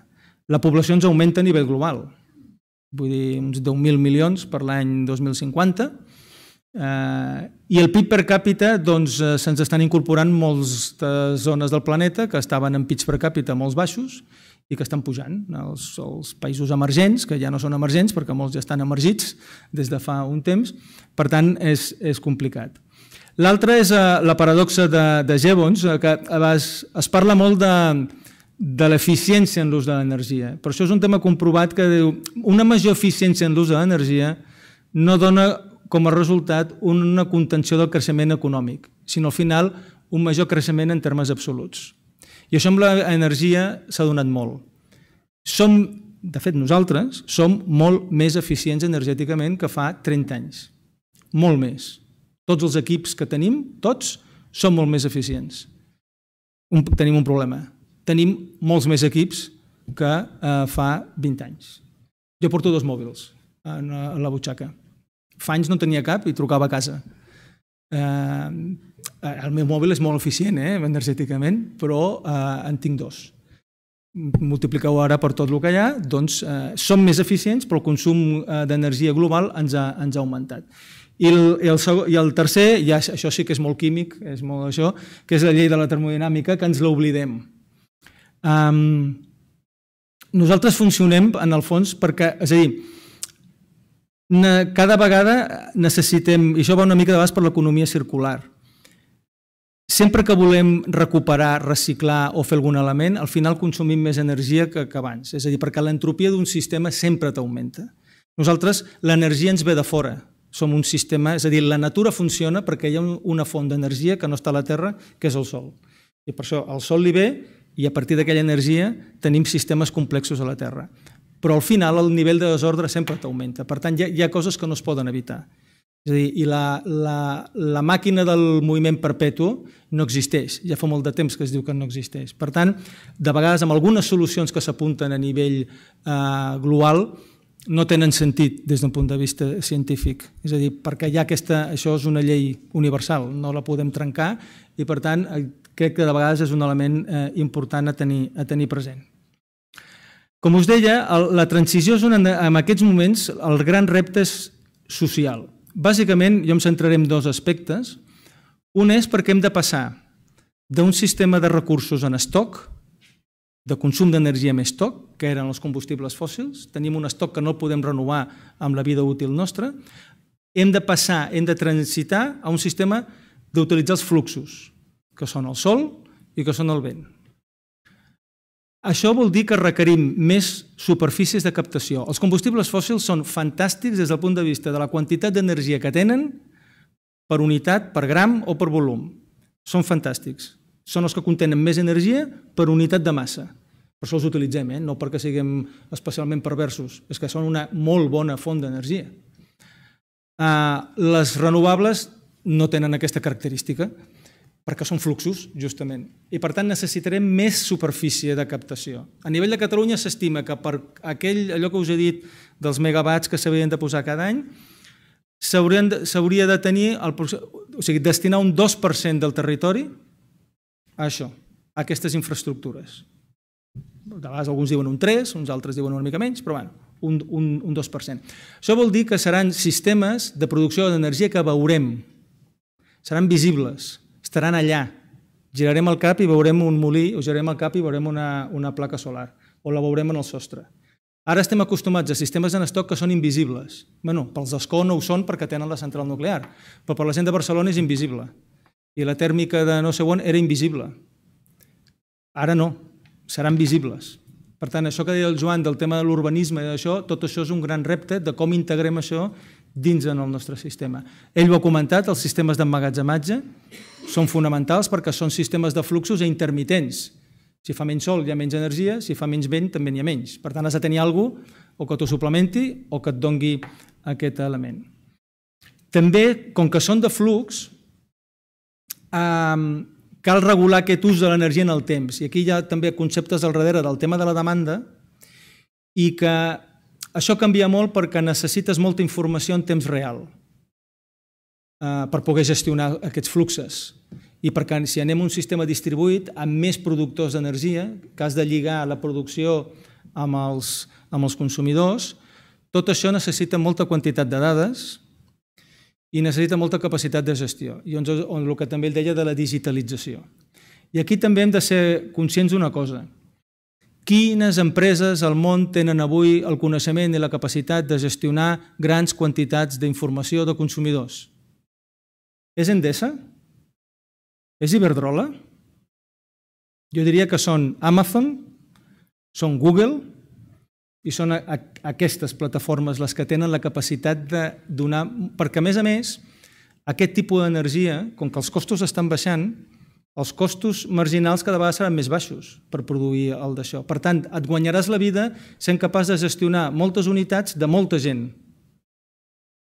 Qui, qui, qui sap fer això? Aquestes empreses. Iberdrola no, no ho sap fer i Endesa no ho sap fer. Endesa el que sap fer és et planta una central d'això, produeix molta quantitat d'energia i te la distribueix. Però no fa una gestió dels fluxos de la informació en un sentit i un altre en aquests moments o de moment encara no ho té i no té la tecnologia, no, no, no tenen les plataformes. Per tant, és possible que veiem en el futur coses una mica estranyes de determinats empreses que entrin en, en aquí. I el tema de la planificació urbana, que també és fonamental perquè la nostra planificació urbanística és una, es basa en un model econòmic d'estocs. És el nostre sistema. Es produeix l'energia fora i la portem dintre, bàsicament. Això ha de canviar eh, radicalment perquè hem de començar a produir l'energia dins els planejaments urbanístics. De fet, la llei de canvi climàtic, per exemple, comença a demanar que els nous planejaments urbanístics comencin a integrar com dotar energèticament aquells elements de manera que puguin ser el màxim autosuficients possibles. És evident que necessitarem grans, alguns llocs de gran central perquè sobretot la demanda industrial o certa indústria necessita molta capacitat d'energia en un moment molt, molt concret i necessitaràs tenir grans parcs eòlics o grans centrals que et puguin donar.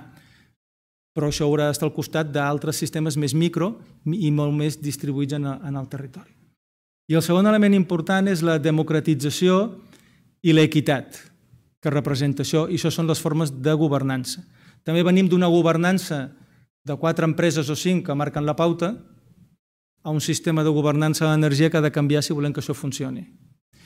Um, I, per tant, tots aquests elements d'autoconsum, eh, que abans s'ha comentat instal·lacions col·lectives, de tot això és també un element bastant revolucionari a nivell eh, de, de, les, de les societats en les quals eh, estem. I el sistema tarifari també s'haurà d'adequar a aquesta nova realitat, que evidentment no, no la tenim. La senyal de preus, que abans s'ha comentat, i altres aspectes també per fomentar justament aquesta transició cap a aquests, aquests models.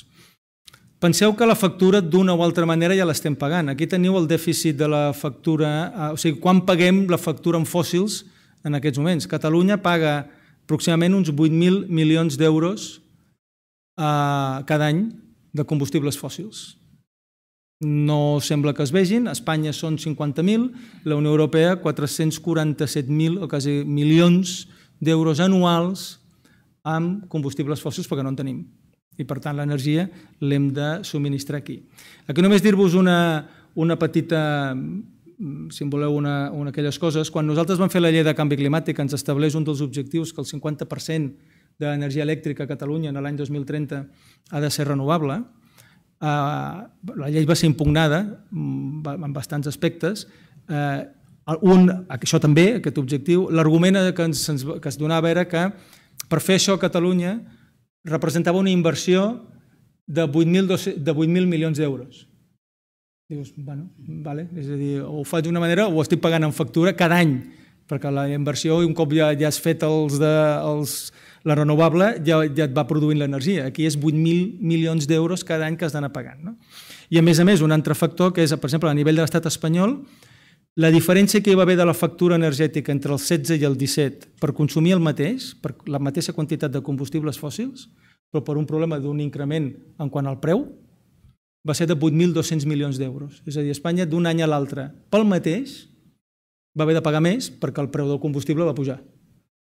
I estàvem, pagant de la, estàvem parlant de la mateixa quantitat de 8.200 milions d'euros. Per tant, conclusió, els diners són un problema? Sí, perquè hem de tenir, hem de trobar i hem de fer les inversions i mentre estàs, en, mentre estàs movent cap a un sistema no pots desmantellar l'altre sistema, els has, de, els has de mantenir. Però repeteixo, el, el nut de la qüestió no està tant en la tecnologia ni en els diners, necessàriament. Eh? Són un repte, però no, no estan aquí. I ja acabo aquí, jo us havia deixat, com que això us ho deixo, és a la llei de canvi climàtic, eh, els diferent, dels diferents articles, articles que toquen d'alguna manera o que s'adrecen a coses relatives a passar de l'estoc, de consum d'energia d'estoc a consum a flux, no? alguns elements de la llei que van amb aquesta idea i altres elements, articles de la llei que van en la línia més de facilitar o de, el tema de la democratització, d'obrir la, la producció d'energia eh, i la governança d'aquesta energia cap a, cap, a la, cap a la societat. Per la banda, doncs, res més i moltes gràcies. Moltes gràcies uh, per, la, per el plantejament fet i per ajustar-se també el temps. Tenim 5 minuts per si hi ha... Sí, no per si hi ha... Potser, en tot cas, fem com abans, si els hi sembla, fem les preguntes primer i llavors després responen de forma... Ah, perdó, en allà ell havia demanat abans en la sessió anterior. No sé si podem fer amb el micro o...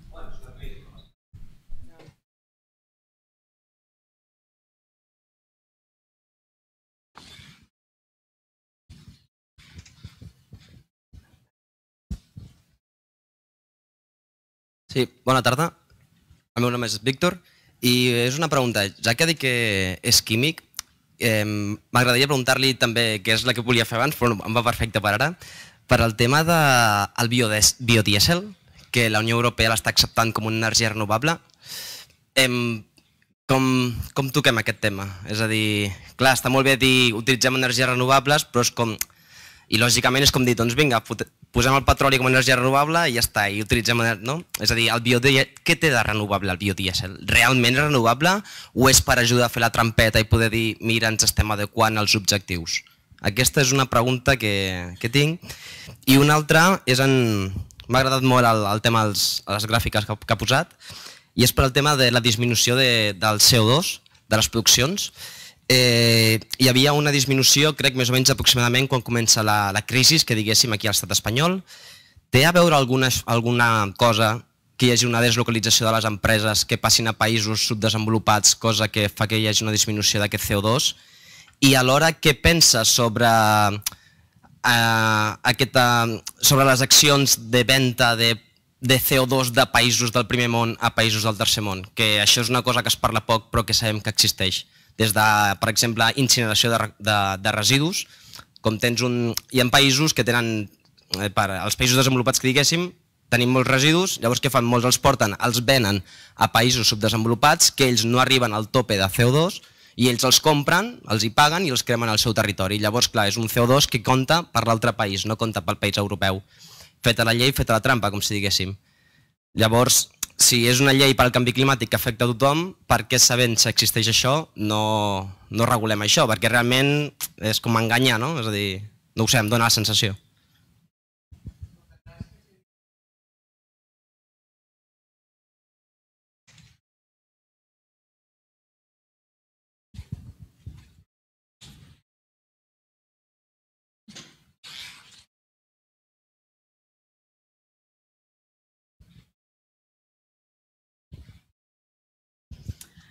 Bona tarda. Um, aviam, em costa plantejar la pregunta. Um, la qüestió és, vostè ha fet una afirmació que m'agradaria que, uh, si potser la definís més concretament, perquè hi ha una mena de fem la tecnologia, com la tecnologia no és un problema, que a mi això em costa d'empassar. Val? Em costa d'empassar perquè l'energia també està vinculada als materials i els materials, en un escenari d'electrificació on la digitalització hi té un paper molt important, vale? requereix d'uns materials. Molts d'aquests materials són materials rars, com el seu nom indica, n'hi ha pocs. I tenim un greu problema al respecte. El tenim tan greu que, a més a més, eh, donem la benvinguda a nous materials com el grafè sense valorar l'impacte ambiental que pugui tenir el seu desenvolupament. Ah, per altra banda, ha fet tota una exposició brillant, a mi em sembla, amb la qual eh, posa de manifest que des del segle XIX fins ara eh, l'augment energètic ha sigut eh, a nivell de consum brutal, tan brutal com el consum de materials, val? que està lligat estrictament a un desenvolupament tecnològic. Llavors, per mi la qüestió potser no és parlar sempre de la fe tecnològica, perquè sincerament comença a cansar-me, perquè és, és com dir, bueno, què ens passa? Eh, no? Vull dir, és evident que hi ha una, una ineficiència tecnològica quan hi ha tants problemes associats a un mal ús i desenvolupament de la tecnologia. I només cal veure l'informe de, la, de les Nacions Unides eh, amb temes de salut i medi ambient que s'acaba de presentar fa un dia, crec. Val.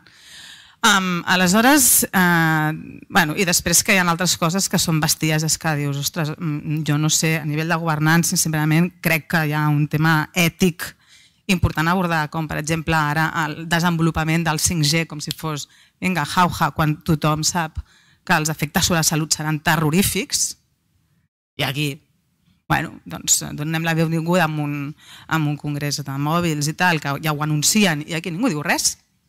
I és, qüestió de salut.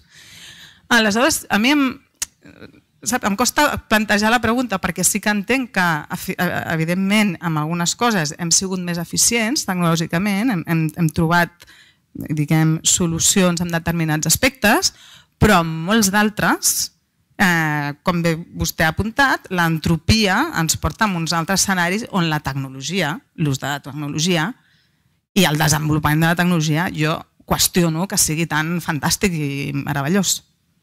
I, aleshores és perquè vostè em delimita exactament on, està, on, on no hi ha problema tecnològic, perquè jo sí que li veig. A nivell d'ús de materials, a més és curiós perquè el, el concepte de motxilla ecològica és un concepte que ha caigut molt en desús en el tema ambiental. Parlem molt del desenvolupament, parlem, no sé, la motxilla ecològica, tot el que suposa el previ a això és com que ja no ni, ni parem atenció. Gràcies. Bé, moltes gràcies. Doncs té la paraula. A veure, pel tema del biodiesel, primer, um, a veure, el, el biodiesel, la, la, la resposta és depèn de com es faci aquest biodiesel. La Unió Europea, de fet, ja ha tret una, uns requisits que han de complir perquè el biodiesel eh, pot tenir una, una cara, diguéssim, amagada, o una cara oculta, en quant pel que és les emissions de CO2 i després altres. Bàsicament és eh, destinar terres de cultiu, deixar de produir aliments per produir un tipus de planta, diguéssim, o no, això, per després processar per obtenir dièsel, aquesta, aquesta manera, això la Unió Europea eh, li, li posa fre. És a dir, per dos motius. Una, perquè estàs deixant unes terres fins i tot que són de vegades molt fèrtils i d'això, per produir quelcom que no és per produir aliments quan hi ha una situació que apunta a que hi pot haver una certa escassetat o una, un cert estrès en quant a producció d'aliments en un món de més població. Per tant, primer factor, que això no és canvi climàtic, però és un factor, i l'altre és perquè amb això produeixes més, o sigui, al, al final produeixes més CO2 que el que suposat eh, substitució del combustible fòssil per aquell biodiesel. Per tant, eh, en el biodiesel que la Unió Europea està mirant de veure com delimitar és, ha de ser un dièsel produït fonamentalment per altres formes que no siguin plantes que vagin en competència amb els aliments. És a dir, poden ser a través de residus o poden ser d'altres elements a partir dels quals produir aquest biodièsel, però que no, però que no t'entri en competència amb això.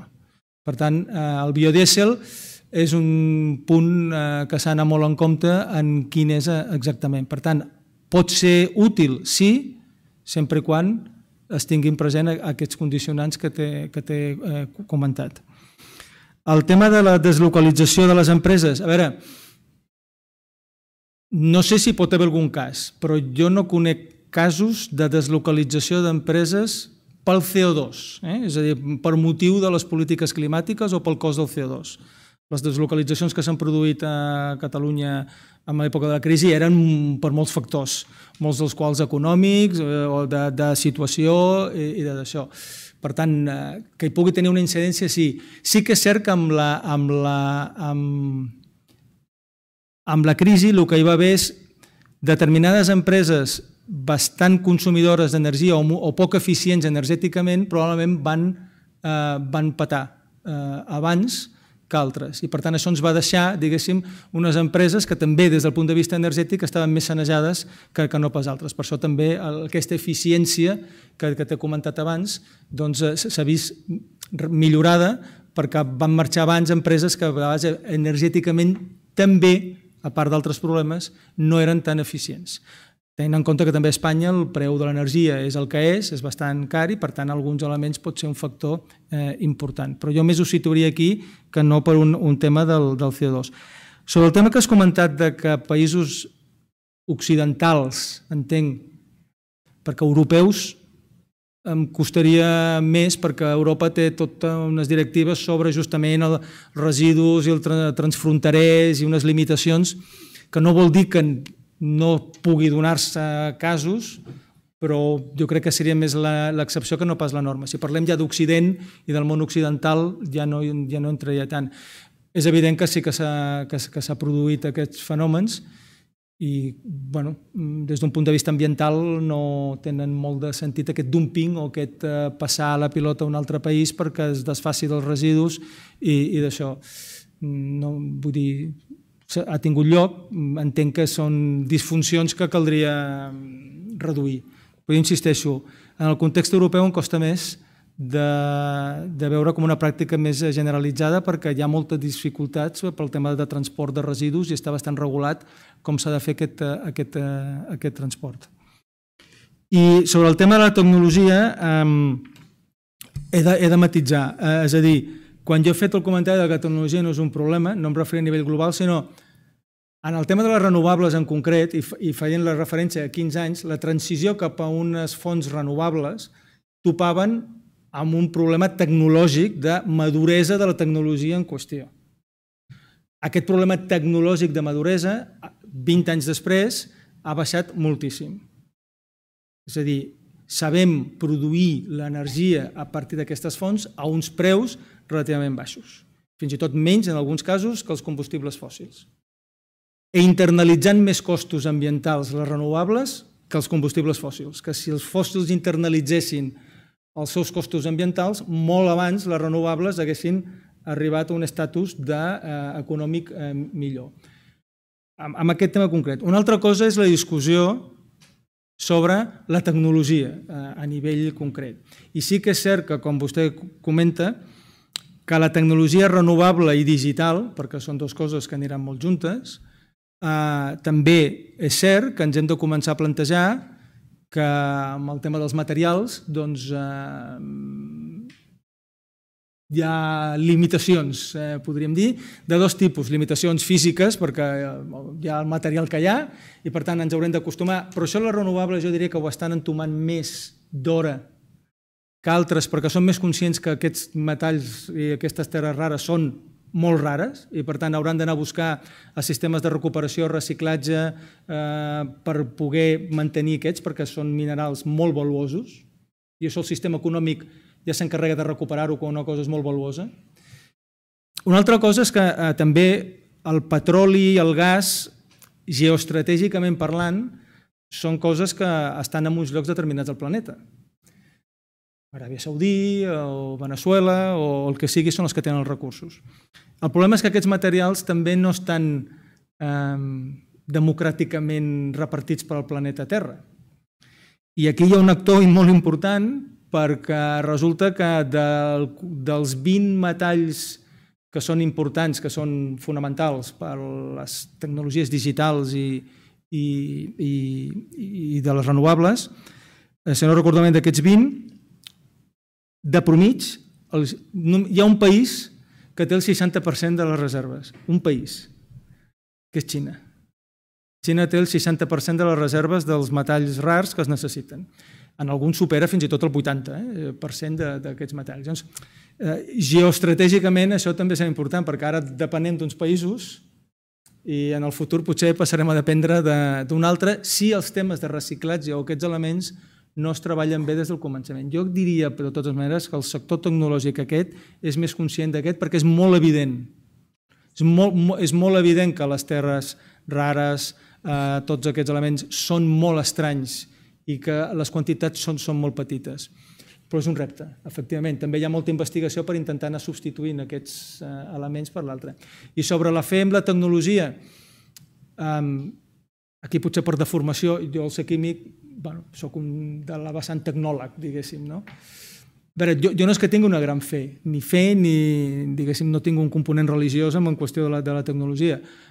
Ens ha ajudat en moltes coses eh, i eh, ens ha perjudicat en, en d'altres coses. Eh, hem de ser conscients d'aquest element.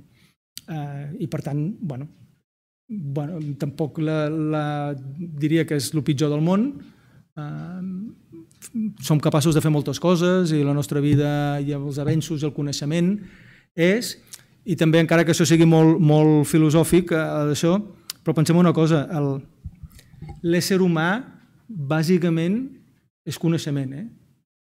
És a dir, si som alguna cosa en, en aquest planeta i com a espècie és la nostra capacitat de generar gran quantitat de coneixement i transformar aquest, aquest coneixement en alguna cosa.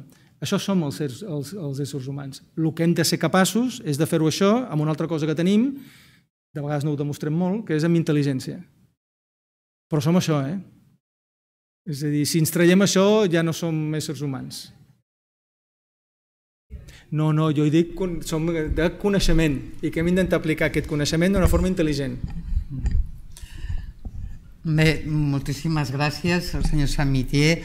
Uh, si els hi sembla, deixem aquesta primera segona sessió aquí ara mateix. Fem una pausa de 5 minuts, de 5 minuts, no de 15 minuts. Reciclem el temps cap enrere. Fem una pausa de 5 minuts i després continuem amb la tercera de les sessions. D'acord? Moltes gràcies.